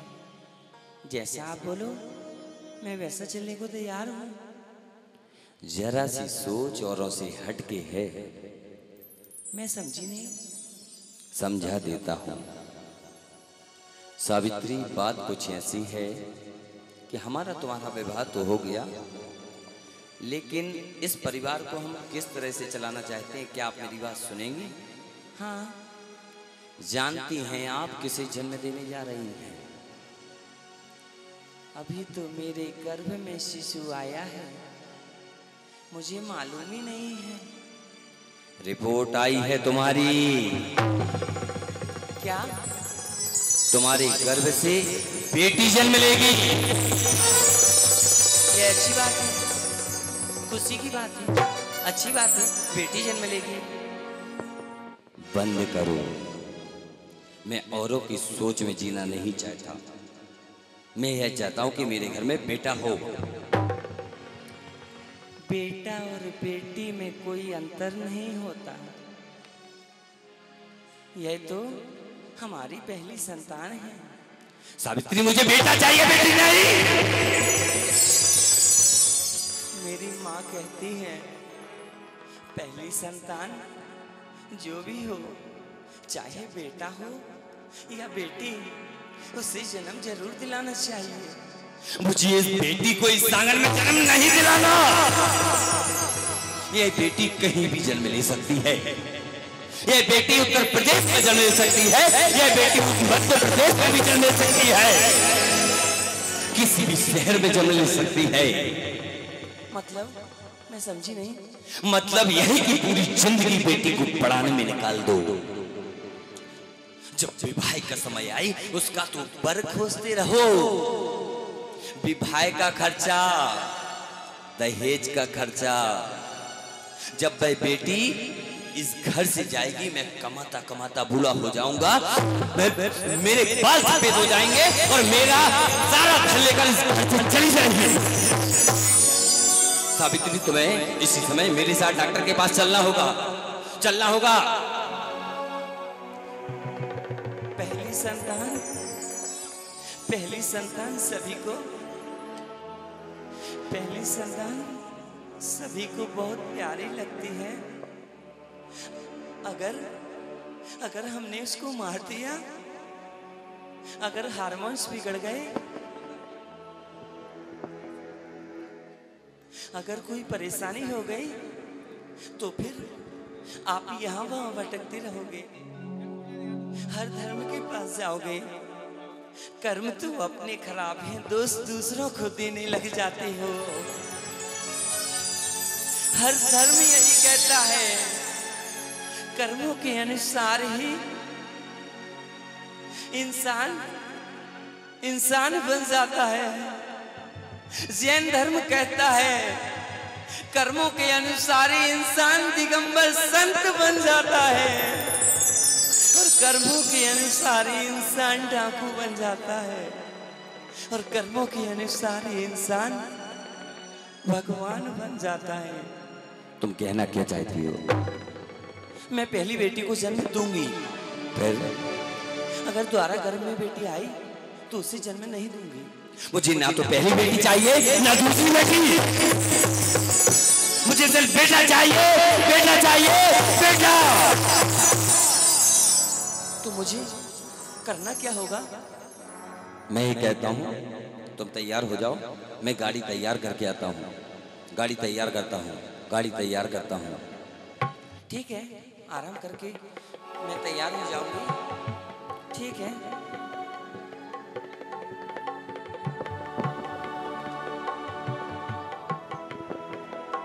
हे माँ माँ। कौन? कौन कौन हे माँ। कौन है? कौन है कौन है कौन है किसकी आवाज़ आई? किसकी आवाज़ आई हे माँ। मैं आपके गर्भ से बोल रही हूँ कौन कौन कौन? माँ। मैं अजन्मी बेटी आप मुझे मारना नहीं, माँ। माँ, मैं आपको माँ तो नहीं कह सकती। लेकिन मैं महसूस कर सकती हूँ। आप मेरी आवाज़ सुन रही हो ना, माँ? माँ, मेरी आँखें भी नहीं खुली है माँ। माँ, मैंने देखा भी नहीं है आपको। हे माँ, मेरी रगों में आपका ही खून दौड़ रहा है। अगर आप मुझे मार दोगी तो मैं जन्म कैसे लूँगी माँ? अभी मेरी आँखें भी नहीं खुली माँ मुझे मारना नहीं माँ अगर मेरी नानी ने कड़वी दवाई खाई होती तो आप कहाँ से आते? आप कोई भी कड़वी दवाई मत खाना माँ। मेरी आँखें जलेंगी। मैं रो भी नहीं पाऊँगी।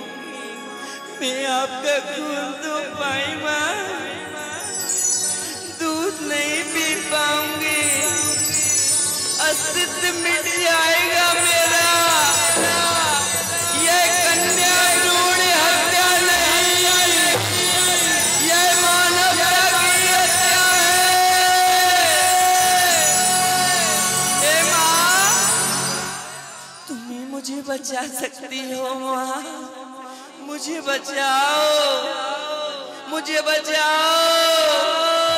माँ, मैं आपके घर आँगन में खेलना चाहती हूँ। आप सोच रही होगी, मैं परेशान करूँगी। नहीं नहीं, जब आप रसोई बना दोगी ना, खाना खा लोगी ना आपका बचा हुआ खाना खाकर अपना जीवन बिता दूँगी। आपके सारे रसोई के बर्तन साफ़ कर दूँगी, माँ। पुरानी किताबों से पढ़ लिया करूँगी। पुराने कपड़े पहन लिया करूँगी, माँ। मैं आपको परेशान नहीं करूँगी। पर माँ मुझे मानना नहीं ये देश है हिंसा का देश है। हिंसा का देश नहीं। अहिंसा का देश कैसे बनाऊँगी माँ? मुझे मान नहीं खो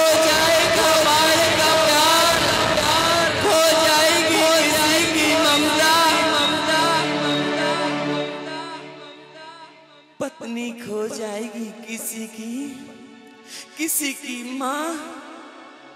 बेटी है, वही माँ है, वही दादी है, वही बुआ है। मानना नहीं माँ, आप ही बचा सकती हो मुझे। माँ माँ चाहे तो मुझे प्यार न देना। माँ चाहे तो मुझे प्यार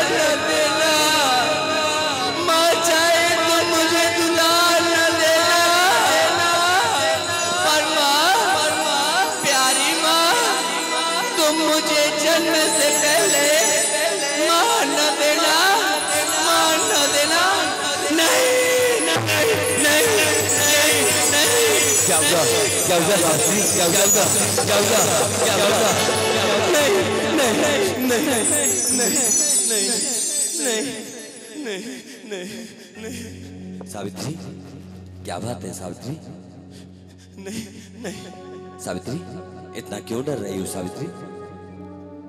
मैं अपनी बेटी को मारना नहीं चाहती मैंने उसकी आवाज़ सुनी है। क्या आवाज़ सुनी है? आप जिसको मारना चाहते हैं मैं बोलना भी नहीं जानती। बस इतना पहचानती है कि ये सागर में खेलना चाहती है। हमारी पहली संतान है। इस विषय में हम आपका साथ नहीं देंगे। हम अपनी बेटी को मरने नहीं देंगे। मैं आपके हाथ जोड़ती हूँ। मैं आपके सामने हाथ जोड़ती हूँ। इस विषय में हम आपका साथ नहीं देंगे। कौन कहता है उसमें प्राण नहीं है? कौन कहता है उसे दुख सुख का एहसास नहीं है? उसे दुख सुख का एहसास है। आपने कई बार सुना भी होगा, सीरियल भी देखा होगा, कि गर्भ के अंदर अभिमन्यु ने चक्रव्यूह को तोड़ना सीख लिया था। गर्भ के अंदर सब कुछ सीख लिया करते हैं। इसलिए हमारा बुलाया हुआ मेहमान है। और इस आँगन को हम घर आँगन से भगा नहीं सकते। हर समाज के लोग कहते हैं, जैन समाज के लोग कहते हैं। पूज्य गुरुदेव सौरभ सागर जी महाराज भी प्रवचन में कई बार बता चुके हैं। कन्या भ्रूण हत्या महापाप है जघन अपराध है। मेरी बात समझो आप मेरी बात समझो मैं आपके पैर पड़ती हूँ। मेरी बात समझो आप मैं आपको इस विषय में साथ नहीं दूँगी। देखो तुम्हें मेरे हिसाब से चलना होगा। तुम मेरी राय से अलग चलोगी। हाँ मैं चलूँगी अलग चलूँगी। आपकी राय से अलग चलूँगी। तुम्हें मेरे साथ इसी समय चलना होगा। मैं नहीं जाऊँगी। तुम्हें चलना होगा। इसी समय मेरे साथ चलना होगा? मैं नहीं जाऊँगी, मैं नहीं जाऊँगी। चलना होगा।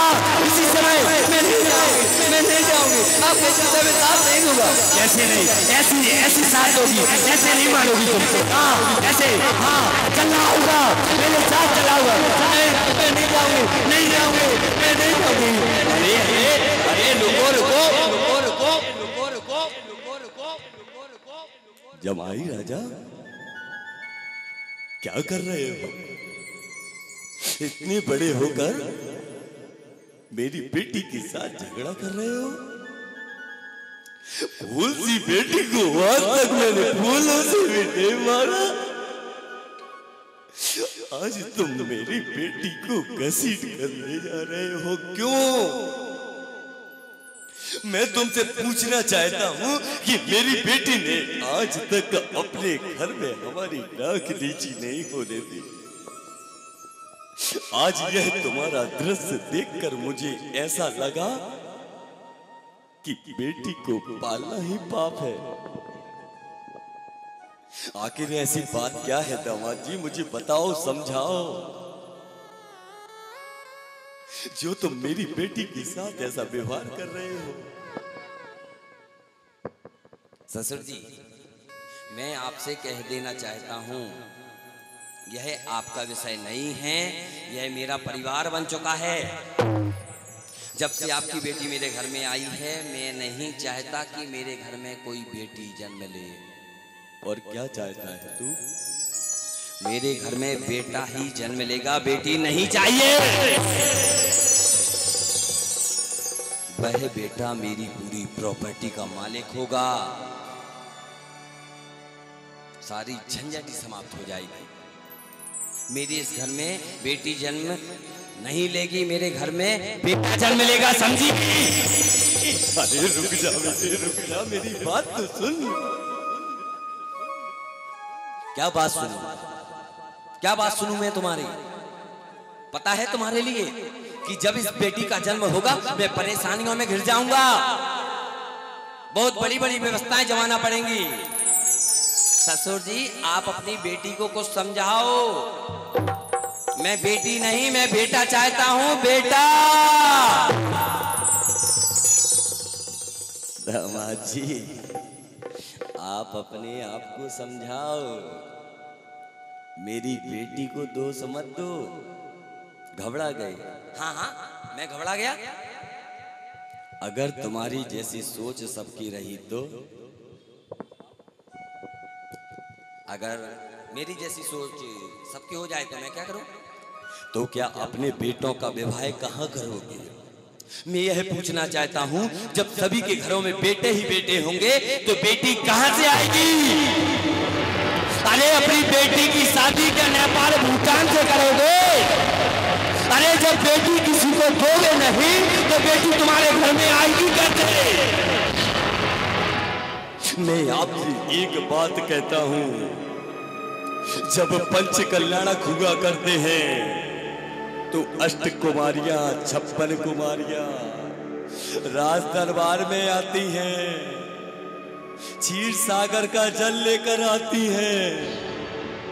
एक मंगल कलश लेकर चलने वाली बिटिया आज इस गर्भ के अंदर माना जा रहा है।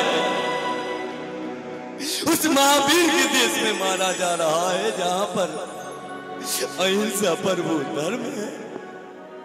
ये मेरे महावीर भगवान। आपके मंदिर तो बहुत बन गए, लेकिन आपको तालों में बंद कर दिया है। आपके उपदेश चाहिए। हर चौक महावीर चौक होना चाहिए। हर चौक पर आपके उपदेश चाहिए। तुम्हारा यह संदेश सारी जनता सुनना चाहती है। सभी सरकार से सुधार मांगते हैं। वाह, क्या बात है। सरकार से सुधार मत मांगो। अगर आप संपन्न हो तो अपने परिवार का सुधार कर सकते हो। अगर तुम संपन्न हो तो समाज का सुधार कर सकते हो। इसका मतलब बेटियों की बहुत आवश्यकता है। बेटियों की बहुत ज़रूरत है। बेटी को पालने से कोई नहीं डरता। तुम्हें यह समस्या होगी कि बेटी बड़ी होगी नेट चलाएगी व्हाट्सएप चलाएगी फेसबुक चलाएगी। हाँ हाँ ससुर जी यह सारी समस्या है। सारी समस्या का समाधान एक है। याद रखना। बेटी तो बहुत भोली वाली है पर बेटे सबसे ज़्यादा मक्कार है। मैं आपकी बात समझा नहीं आप साफ़ साफ़ कहिए। बेटी व्हाट्सएप फेसबुक चलाती है यूज़ करती है। लेकिन उनको गलत राह देने वाला आज का युवा है। अगर मेरी यह नौजवान सुधर जाए तो बेटी सबसे पहले सुधरने को तैयार है। बेटी धोखा नहीं दे रही। बेटी धोखा नहीं दे रही। धोखा दे रहा तो आज का नौजवान धोखा दे रहा। आज का युवा धोखा दे रहा है। उन्हें गुमराह करके कहीं बुलाकर या तो कहीं बेच दिया जाता है या किसी होटल में धक्के से लटका कर मार दिया जाता है। जब बेटे की विवाह की बात करते हैं तो कहता है एक संसारिक बेटी से विवाह करूँगा जो मेरा घर परिवार चलाए। ससुर जी मैंने आपकी बात समझ ली है। हाँ? लेकिन आपसे विनती है प्रार्थना है हाथ जोड़ के। आप अपने घर वापस चले जाएँ। मैं अपने घर में बेटी को जन्म नहीं दिलाऊँगा। क्यों?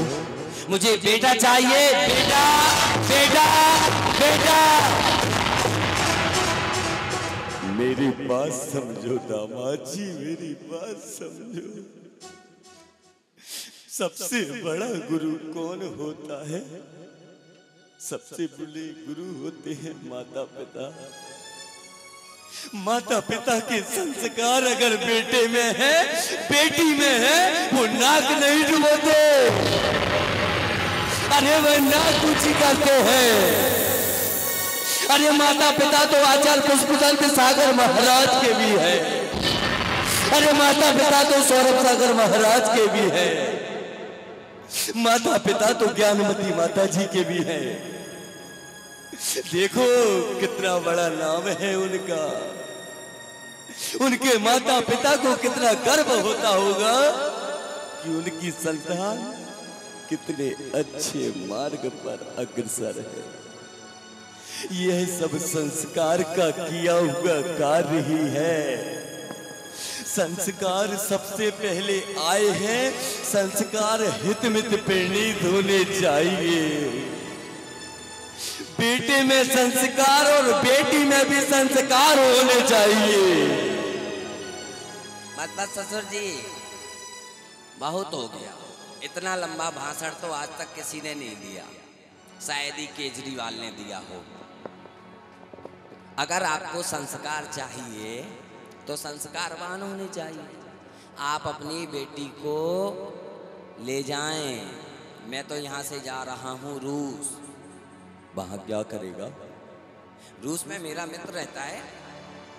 उसने कहा है वहीं पर आ जाए। वह मेरी शादी करा देगा। तो फिर रूस में ही पैदा हो गया होता यहाँ क्यों पैदा हो गया? हाँ हाँ। ज़्यादा बोलने की ज़रूरत नहीं है यहाँ। मैं रूस चला जाऊँगा। मैं बोल रहा हूँ। ना ना ना ना दामाद जी दामाद का ना दामाद जी नहीं नहीं मैं चला जाऊँगा। हाँ। मैं जा रहा हूँ।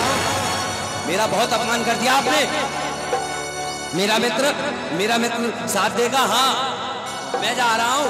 कभी नहीं आऊँगा। हाँ। जा रहा हूँ। रख लेना इसको। रख लेना हाँ। जा रहा हूँ मैं। रुक जा। रुक जा। रुक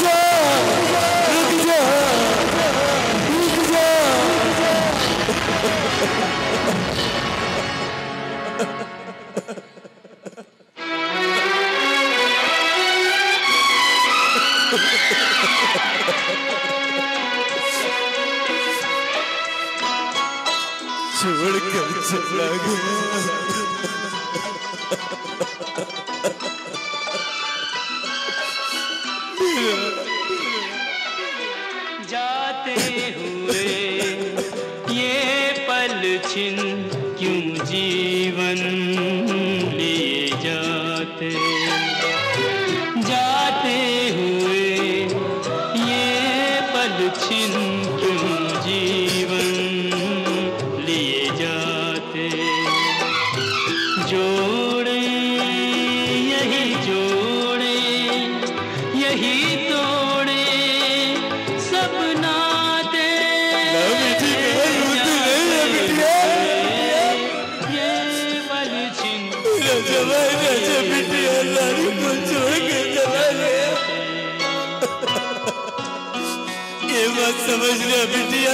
कमज़ोर हो गया हूँ। ये मत समझ लिया बिटिया कि मैं तेरा साथ छोड़ दूँगा। बचपन से लेकर आज तक पाला है बिटिया मैंने तुझे। मैं तुझे अपने साथ रखूँगा बिटिया। तू मेरे साथ चल बिटिया, साथ चल।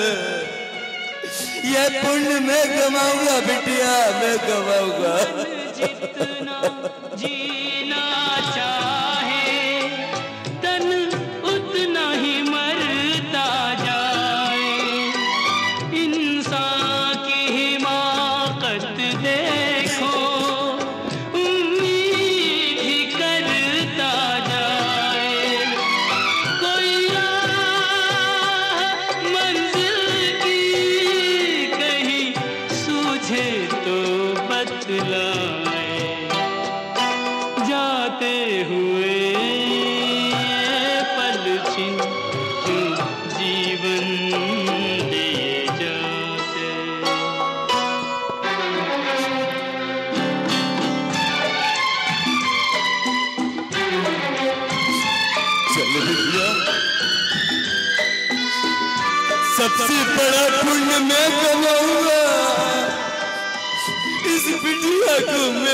जन्म दिलाऊँगा बिटिया, मैं जन्म दिलाऊँगा, मैं जन्म दिलाऊँगा बिटिया।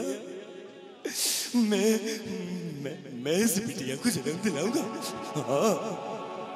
जितना पुण्य एक मंदिर को बनाने में मिलता है, उससे ज़्यादा पुण्य मैं कमाऊँगा बिटिया, मैं कमाऊँगा। मैं बचाऊँगा तेरी बिटिया को। पापा, हम आपके लिए आपके घर में जन्म लिए। और आज मैं आपके ऊपर बोझ बनती जा रही हूँ, पापा। ना बेटी ना बेटियाँ बोझ नहीं होती। बोझ होता है बेटी, जो वक्त से पर होता है। बल्कि अपना भाग्य लेकर आती है। कोई किसी के भाग्य का नहीं गाता। तुमने सुना होगा बेटिया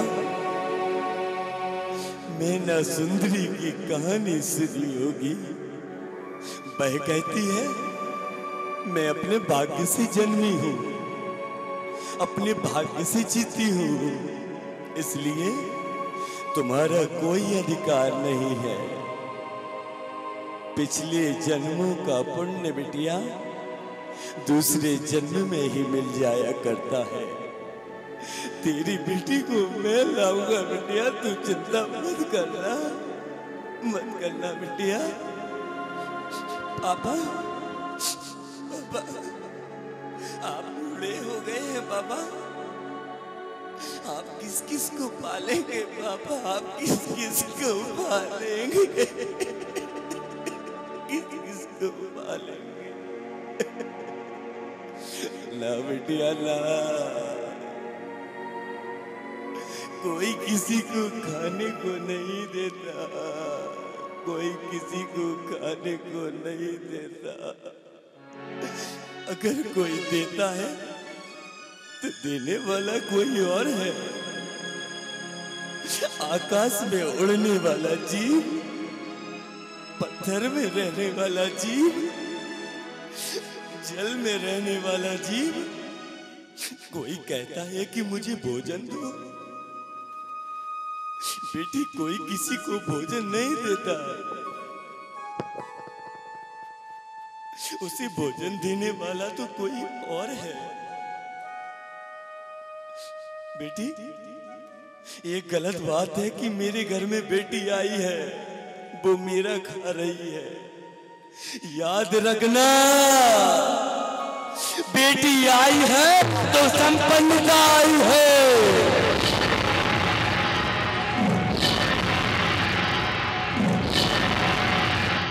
जिस घर में बेटी है, वह घर मांगलिक कार्य करते हैं।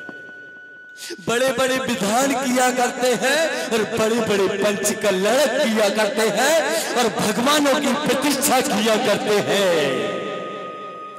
जिस घर में बेटी है, वह घर हमेशा मांगलिक कार्यों में आगे रहता है। बेटी, मेरे साथ चलेगी तू, चिंता मत करना। पापा, हम कहाँ जाएँगे? मेरे साथ चलेगी बिटिया पापा हम नहीं जाएँगे। हम नहीं जाएँगे। क्यों बेटी? हम आपके साथ जाकर क्या करेंगे पापा? क्यों बेटी? हमारे घर में रहोगी आप। नहीं पापा। नहीं जा सकती। नहीं नहीं बेटी। मैं तुम्हारा घर नहीं है बिटिया मैं चुप कर चला गया। कहाँ जाऊँगी पापा मैं? अरे बेटी, आओ, मैं तुम्हें रूस जोड़कर चला गया बिटिया, आओ, मैं हूँ चिंता मत करना। तुम्हारी बेटी को बहुत बढ़िया संस्कार दूँगा मैं। बड़ा उद्योगपति आकर अपने घर की बहू बनाएगा। तुम्हारी बेटी को कार की नहीं, संस्कारों की ज़रूरत है। संस्कारों की ज़रूरत है बिटिया।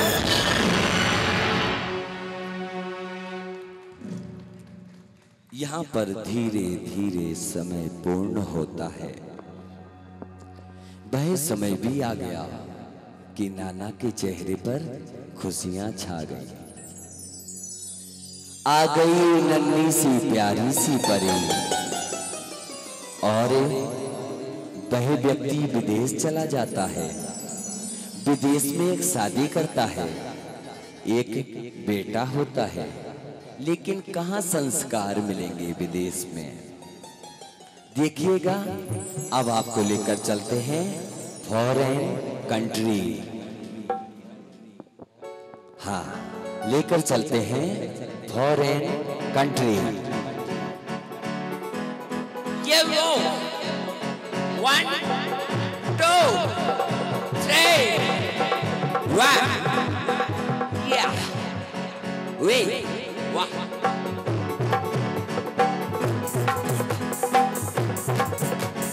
One, two, three, yeah, we drop, right here, right here, right here, right here, right here. एक करके दिखाओ, एक करके दिखाओ, ए, ए, एक करके दिखाओ, एक करके दिखाओ, ए, ए, यहाँ आके, यहाँ आके, यहाँ आके, एक करके दिखाओ एक करके दिखाओ वन टू थ्री फोर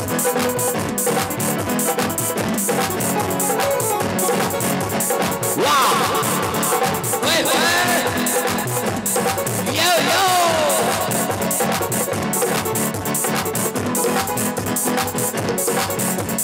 करके दिखाओ एक करके दिखाओ एक करके दिखाओ ऐसे ऐसे ऐसे ऐसे one two three four one two three four one two one two one two one two one two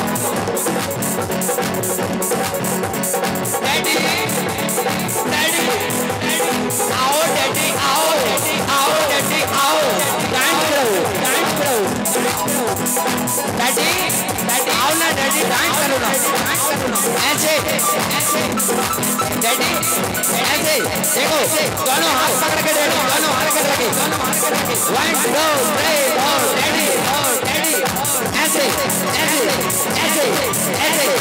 करके दिखाओ डैडी एक करके दिखाओ एक करके दिखाओ डैडी एक करके दिखाओ डैडी डैडी डैडी करिए ना डैडी डांस करिए ना मेरे साथ मेरे साथ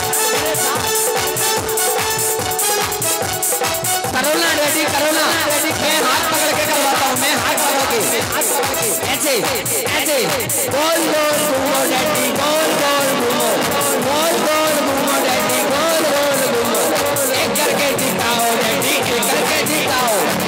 करके दिखाओ करके दिखाओ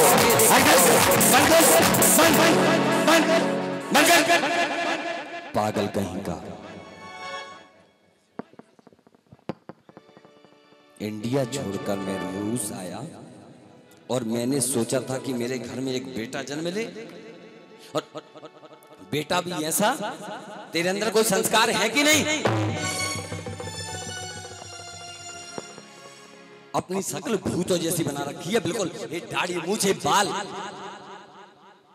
जैसे कोई आतंकवादी हो?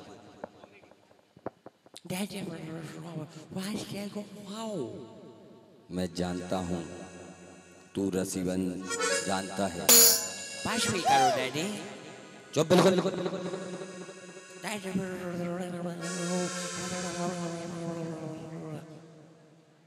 तेरा बाप रसियन जानता नहीं तू रसियन कैसे जानता?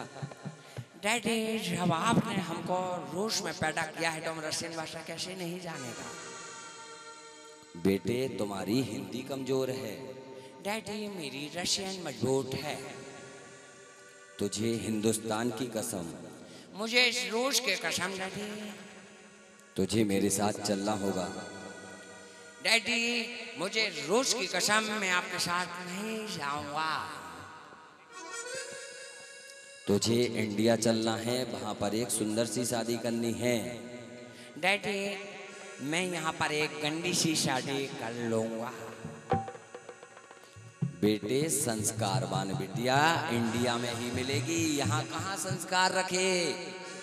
मेरी बात समझ रहा नहीं समझ रहा? ये आँखों पे चश्मा चढ़ा रखा है पागल कहीं का। डैडी मैं नहीं के संस्कारों के साथ शादी करूँगा? क्या करती है बहन? डैडी पार्लर चलाती है होटल चलाती है गाड़ी चलाती है सबको चलाती है क्या नहीं कर सकती? मैं तो बस बैठे बैठे बैठे बैठे बैठे बैठे खाता रहूँगा। यहीं पर विवाह करेगा? हाँ डैडी बिल्कुल नहीं यहीं पर विवाह करूँगा। और तू करता क्या है? बस डैडी क्लब में जाता हूँ और डांस करता हूँ। और सोचता हूँ किससे शादी करूँ किससे नहीं।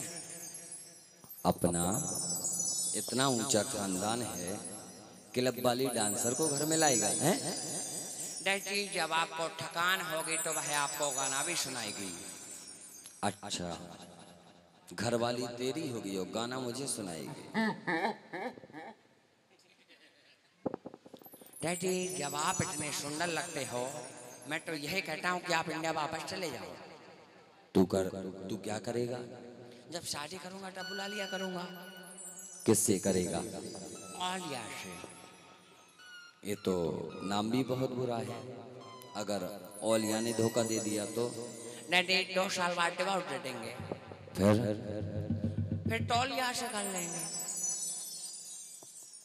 यहाँ का देश बहुत बुरा है।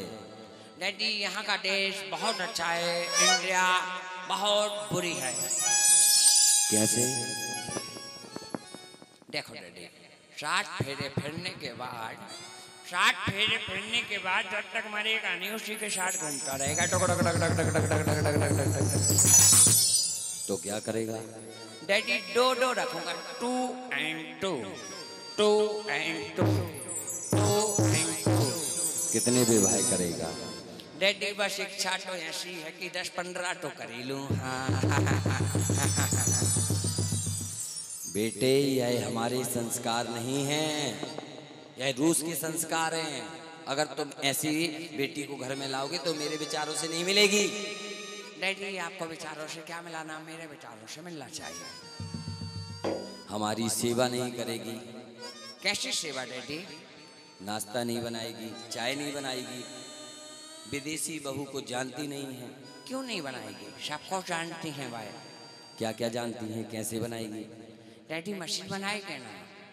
अब इतना मॉडर्न जमाना आ गया है कप नीचे लगाओ बटन दबाओ और कॉफ़ी हाथ में पाओ।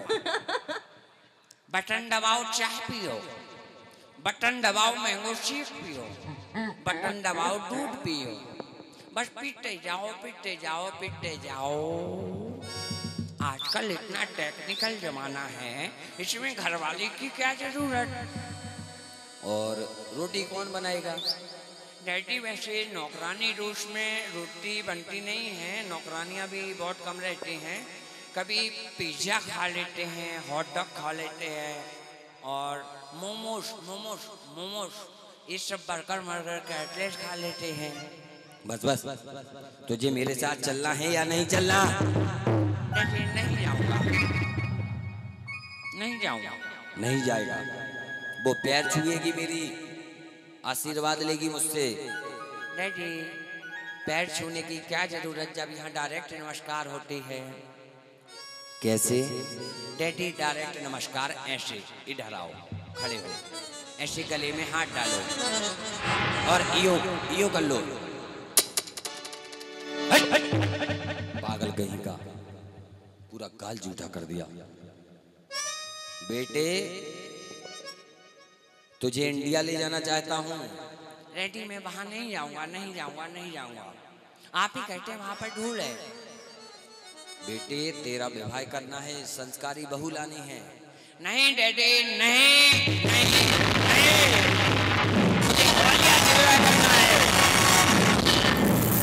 ओलिया ओलिया ओलिया बेटे ओलिया अच्छी नहीं है। वह कम वस्त्र पहनती है। मुझे अच्छा नहीं लगता। मैं कहता हूँ जब जब साड़ी पहनकर आए घूंघट निकाल कर आए। ठीक है डैडी। जिस दिन विवाह करेगी उस दिन साड़ी साड़ी पहन कर आ जाएगी फिर और कुछ पहन लिया करेगी। मुझे गुस्सा दिला रहा है तू। मुझे गुस्सा दिला रहा है। आपको चारों तरफ़ से गुस्सा दिख रहा है तो मुझे भी चारों तरफ़ से गुस्सा आ रहा है। मैंने टिकट करा ली है तेरी तो डैडी टिकट को फाड़ के फेंक दो। तुझे मेरे साथ चलना होगा। डैडी मैं आपके साथ नहीं जाऊँगा नहीं जाऊँगा नहीं जाऊँगा। मुझे गुस्सा दिला रहा है। डैडी मैं आपके साथ नहीं जाऊँगा। तुझे चलना होगा। मेरा हाथ उठ जाएगा। डैडी अगर आपका हाथ उठ जाएगा तो मेरा भी हाथ उठ जाएगा। अच्छा अच्छा। तूने मेरे ऊपर हाथ उठाया। तू क्या समझता है? तू क्या तू क्या समझता है? तू क्या समझता है? तूने मेरे ऊपर हाथ उठा दिया। तूने मेरे ऊपर हाथ उठाया। तू क्या समझता है? माँ हूँ अरे बापू बाप, तेरा कलेजा निकालूँगा। तेरा कलेजा। कलेजा निकाल लूँगा तेरा। कलेजा। बापू बाप। हाँ। बापू बाप छोड़ूँगा नहीं तुझे। आज समझ में आ गया मुझे। विदेश में आकर मेरे बेटे ने आज मेरे ऊपर हाथ उठा दिया। मेरे भारत में ऐसा कोई बेटा नहीं है जो अपने पिता के ऊपर हाथ उठाए। इतने संस्कार मेरे भारत के नहीं बिगड़े। एक बेटा अपने पिता के ऊपर हाथ उठाए। आज से मर गया तू मेरे लिए। आज से मैं मर गया तेरे लिए। सोचा था एक बेटा चाहिए, बेटा भी ऐसा जो अपने पिता पर हाथ उठाए। दो वर्ष बाद डिवोर्स हो गया। इन रसियनों से कौन विवाह करेगा? जा रहा हूँ मैं। तू क्या सोच रहा कि इंडिया में नहीं है मेरा कोई? मेरे पास मत आना। नहीं आऊँगा नहीं आऊँगा हाँ, नहीं आऊँगा। जा रहा हूँ मैं। ऐसा लग रहा है जाते जाते तुझे लात मार के जाऊँ। तुमको नहीं। जा रहा हूँ मैं जा रहा हूँ जा रहा हूँ।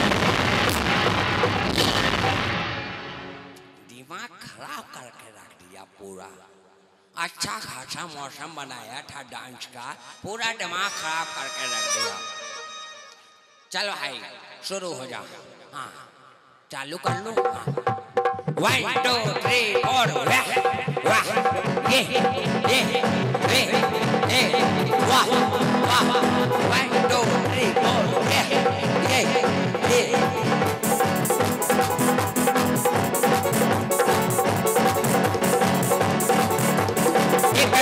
दिखाओ एक करके दिखाओ एक करके दिखाओ वन टू वाह hey yo wa tu so wa wa sa dao hey so wa dao wa wa wa do we go wa wa do we ta ja wa do we go wa so wa cha oh no wa do we ha wa do we ha wa so wa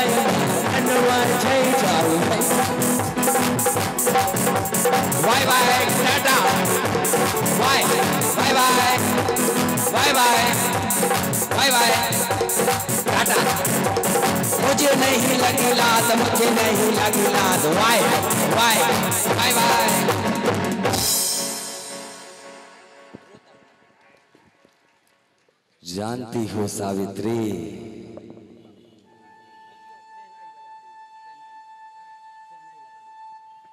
जानती हो सावित्री? देखो।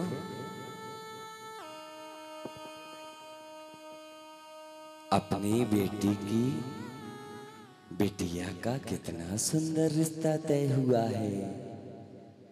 कितना सुंदर रिश्ता। दोनों परिवारों में कितनी अच्छी वार्तालाप हुई। सेठ जी कहने लगे, बाबू दीनदयाल भले ही आप गरीब हो, लेकिन आपकी नवासी ने जो जीव शास्त्र गुरु की पूजा की है, पढ़ लिख कर अपने धर्म को जाना है, संस्कृति को जाना है। वह बनस्थली है ना, दिल्ली में, उन्होंने हमारी नवासी का रिश्ता तय किया हुआ है।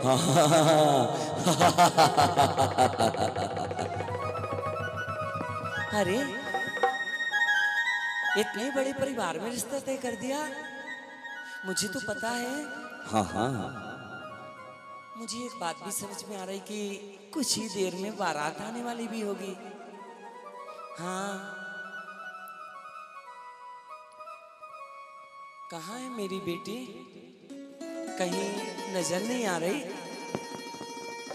दिख तो मुझे भी नहीं रही। मैं भी काफ़ी समय से देख रहा हूँ। पता है तुम्हें कहाँ है? मुझे नहीं पता। नाना? देखो उसकी आवाज़ आ रही है। कहाँ है? नाना? अरे कहाँ है? देखो ना। देखो ना कहीं। हाँ देख रही हूँ। नाना मैं इधर हूँ। कहाँ है बेटी? नाना आपके पीछे। इधर। बहुत सुंदर बहुत सुंदर बहुत सुंदर बिटिया बहुत सुंदर मेरी बिटिया तो आज बहुत चाँद का टुकड़ा लग रही है। नज़र ना लग जाए मेरी बिटिया। हाँ सावित्री। बिटिया तो बहुत सुंदर लग रही है। संस्कृति तू पूछती थी ना कि बेटी घर से क्यों जाती है? हाँ नाना। चिंता ना कर बेटी का दस्तूर ही ऐसा है। उसे एक ना एक दिन घर छोड़कर जाना पड़ता है। और आज जब तुम जाओगी ना तो अपनी नाना की आँखों में आँसू देकर नहीं जाओगी बिटिया अपनी माँ की आँखों में आँसू देकर मत जाना। नाना आप मुझे भेज रहे हैं नाना। हाँ बेटी हाँ। अब मैं आपको अच्छी नहीं लगती नाना। ना बेटी ना ना। ऐसा मत बोल संस्कृति ऐसा मत बोल। तू मुझे रुलाएगी क्या बिटिया? अपने नाना को रुलाएगी? नाना, मैंने आपको बहुत दुख दिया है, नाना। कौन कहता है बेटिया? संस्कृति कि बेटी दुख देती है। तुझे कभी अपने पापा की याद ही नहीं दिलाई? हर समय यह तुम्हारा नाना बाज़ार लेकर गया बिटिया बाज़ार लेकर? हाँ नाना। जो तूने मांगा वही दिलाया। हाँ नाना। लेकिन पापा क्यों नहीं आए? अरे बिज़नेस से रूस चला गया आ जाएगा कभी ना कभी।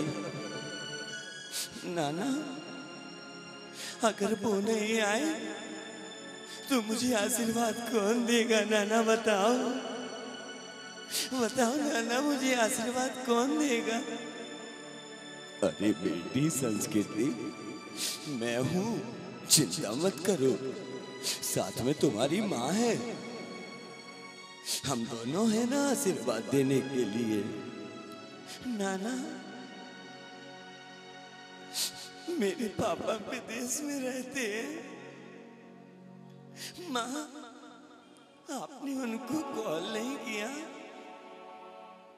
आपने उन्हें बताया नहीं कि आज उनकी बेटी इतनी बड़ी हो गई है कि आज उसकी विदाई हो रही है। माँ, एक लेटर ही लिख देती। बेटी लेटर तो डाल दिया था, लेकिन उनका कोई जवाब नहीं आया। कोई कॉल नहीं आया बेटी वापस। नाना, जानते हैं आप? हम आप दोनों को, हम दोनों, हम कई सालों से अपने पापा की फ़ोटो देखकर जीत रहे ना। हमें क्या पता कि हमारे पापा हमको कैसे बड़ा किए कैसे खिलाए हमको नहीं मालूम। पापा अपनी बिटिया को कितना प्यार करते हैं। पापा ने कभी एक जोड़ी कपड़े भी लाकर नहीं दिए। सब कुछ नाना ने ही दिलाया। माँ, बिन पापा के आप हमें परवरिश करती रही। नाना, हम नहीं जाएँगे, आपके घर से हम नहीं जाएँगे, नाना, हम नहीं जाएँगे। हम नहीं जाएँगे, नाना। मेरे पापा मुझे आशीर्वाद देंगे तो मैं हँसते हँसते डोली में बैठ जाऊँगी। पूरा बचपन मैंने पापा की फ़ोटो देखकर जीती रही। पूरा बचपन मैंने पापा की फ़ोटो देखकर बिता दिया। बिटिया? आ, बिटिया। तुझे फ़ोटो से बात कराता हूँ, चल बिटिया। फ़ोटो देखकर चले जाना बिटिया, फ़ोटो देखकर। फ़ोटो देखकर चले जाना, आ बिटिया। आ संस्कृति? आ। देख बिटिया, तेरे पापा कितने सुंदर लग रहे हैं। ये तेरे पापा हैं। देख बिटिया। सावित्री? सावित्री? सावित्री है क्या? यहाँ लाइटें क्यों जल रही सावित्री? सहनाई बज रही है। सावित्री? ये सहनाई क्यों बज रही है, सावित्री? आप आप रूस से आज अचानक आज अचानक रूस से आ गए। क्यों? आखिर ऐसी क्या बात थी? बस आ गया। क्या बताऊँ? लेकिन मुझे बताइए, क्या बात है? आज इस घर आँगन में इतनी खुशियाँ। आप जानते नहीं हैं। आप जिस बेटी को मारना चाहते थे ना आज आपकी बेटियाँ इतनी बड़ी हो गई है कि इस घर आँगन से विदा हो रही है। विदा हो रही है। क्या तुमने इस बेटी को जन्म दिया? तुमने उस बेटी को जन्म दिया। हाँ मैंने उस बेटी को जन्म दिया। लेकिन आप रूस से क्यों आ गए? बताइए तो सही। अब क्या कहूँ? मैंने वहाँ जाकर एक शादी कर ली। बेटे को जन्म दिया मैंने। मैंने बेटे से बोला चल इंडिया चल। मैं बोला, मैं इंडिया नहीं जाऊँगा। मैं मैं रसियन से व्यवहार करूँगा। बस दोनों में लड़ाई हो गई। मेरे ऊपर हाथ उठा दिया उसने।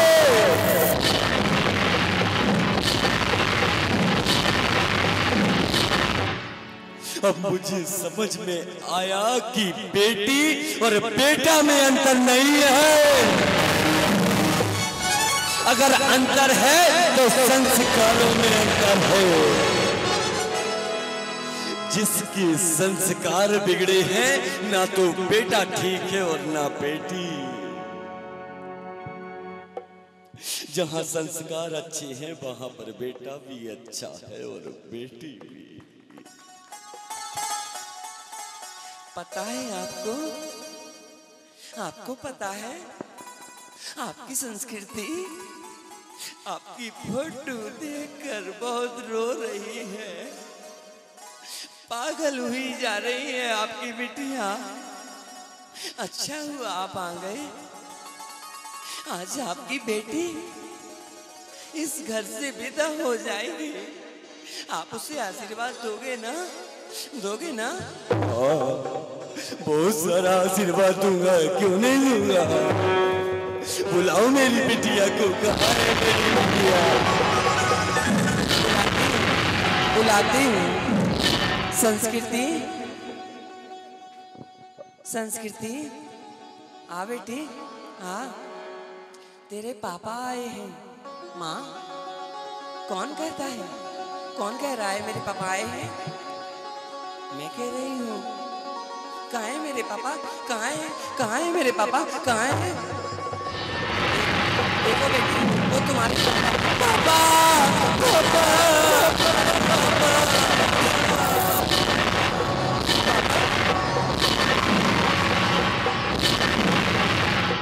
पापा, मेरी तरफ़ देखो ना पापा।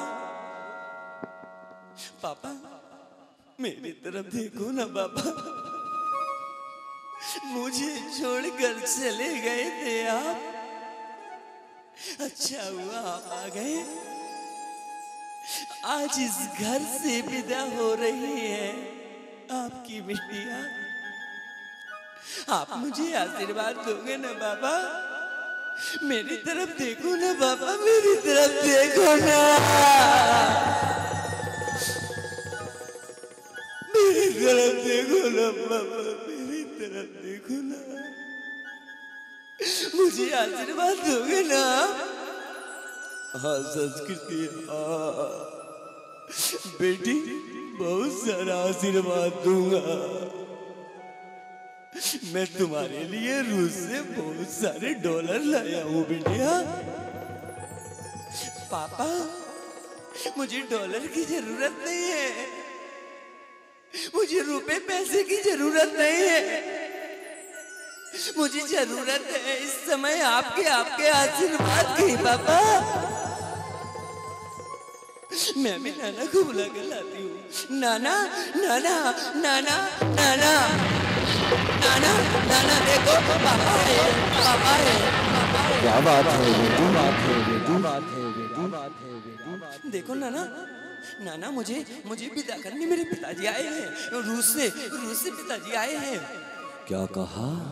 रूस से रूस से आ गया आ गया चला जा इसी बात को निकल जा यहाँ से। निकल जा निकल जा यहाँ से।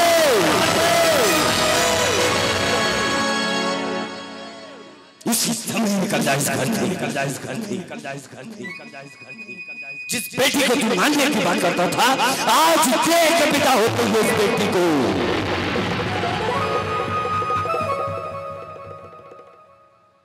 छोड़कर चला गया था तू उसे आज देखो कि तेरी बेटी तुझे छोड़ के जा रही है।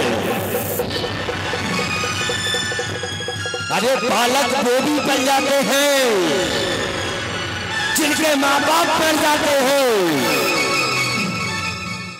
अरे बालक वो भी बन जाते हैं जो अनाथ है। और जिनके आदिनाथ हैं वो कभी अनाथ हो नहीं सकते नहीं हो सकते। निकल जा जैसा आया हो इसी वक्त निकल जाओ तेरा कोई आशीर्वाद नहीं चाहिए। ना ना ना ना नहीं नहीं नाना निकल जा इसी वक्त निकल जा नाना नाना सुबह का भूला सुबह का भूला अगर शाम को घर वापस आ जाए तो उसे भूला नहीं कहते। मेरे पापा कह रहे हैं, वो मुझे आशीर्वाद देने आए नाना आशीर्वाद देने। वो आशीर्वाद देने आया जो तुम्हें, वो आशीर्वाद देने आया जो तुम्हें गर्भ के अंदर मार देना चाहता था। नहीं, नाना, नहीं। मेरे पापा मुझे आशीर्वाद देने आए हैं। मेरे पापा बहुत अच्छे हैं। बहुत अच्छे हैं। मेरे पापा को रोक लो। रोक लो मेरे पापा को, रोक लो। पापा, रुक जाइए ना मेरे पापा।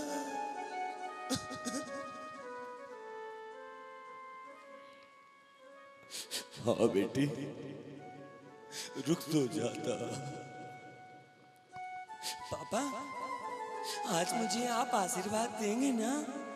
हाँ बेटी हाँ। ढेर सारा आशीर्वाद दूँगा अपनी बेटिया को।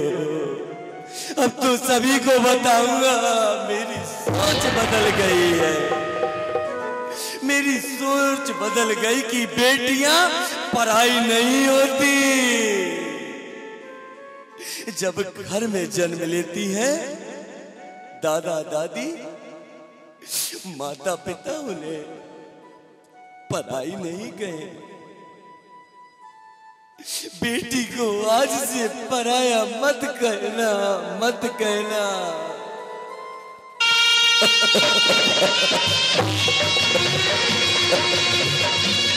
मेरी बेटी आज इस घर से हो जाएगी।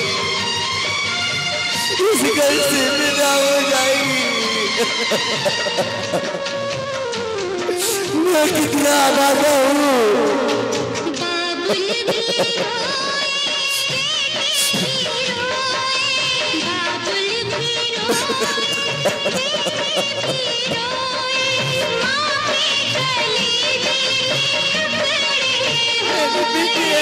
हाँ,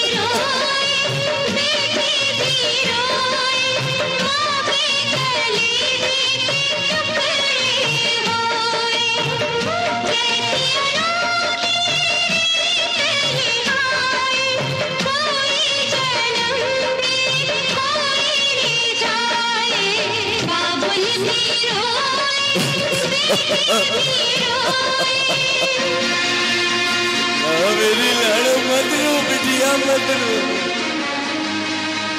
सभी से निवेदन करता हूँ कि आज के बाद बेटी को पराया नहीं कहना मत कहना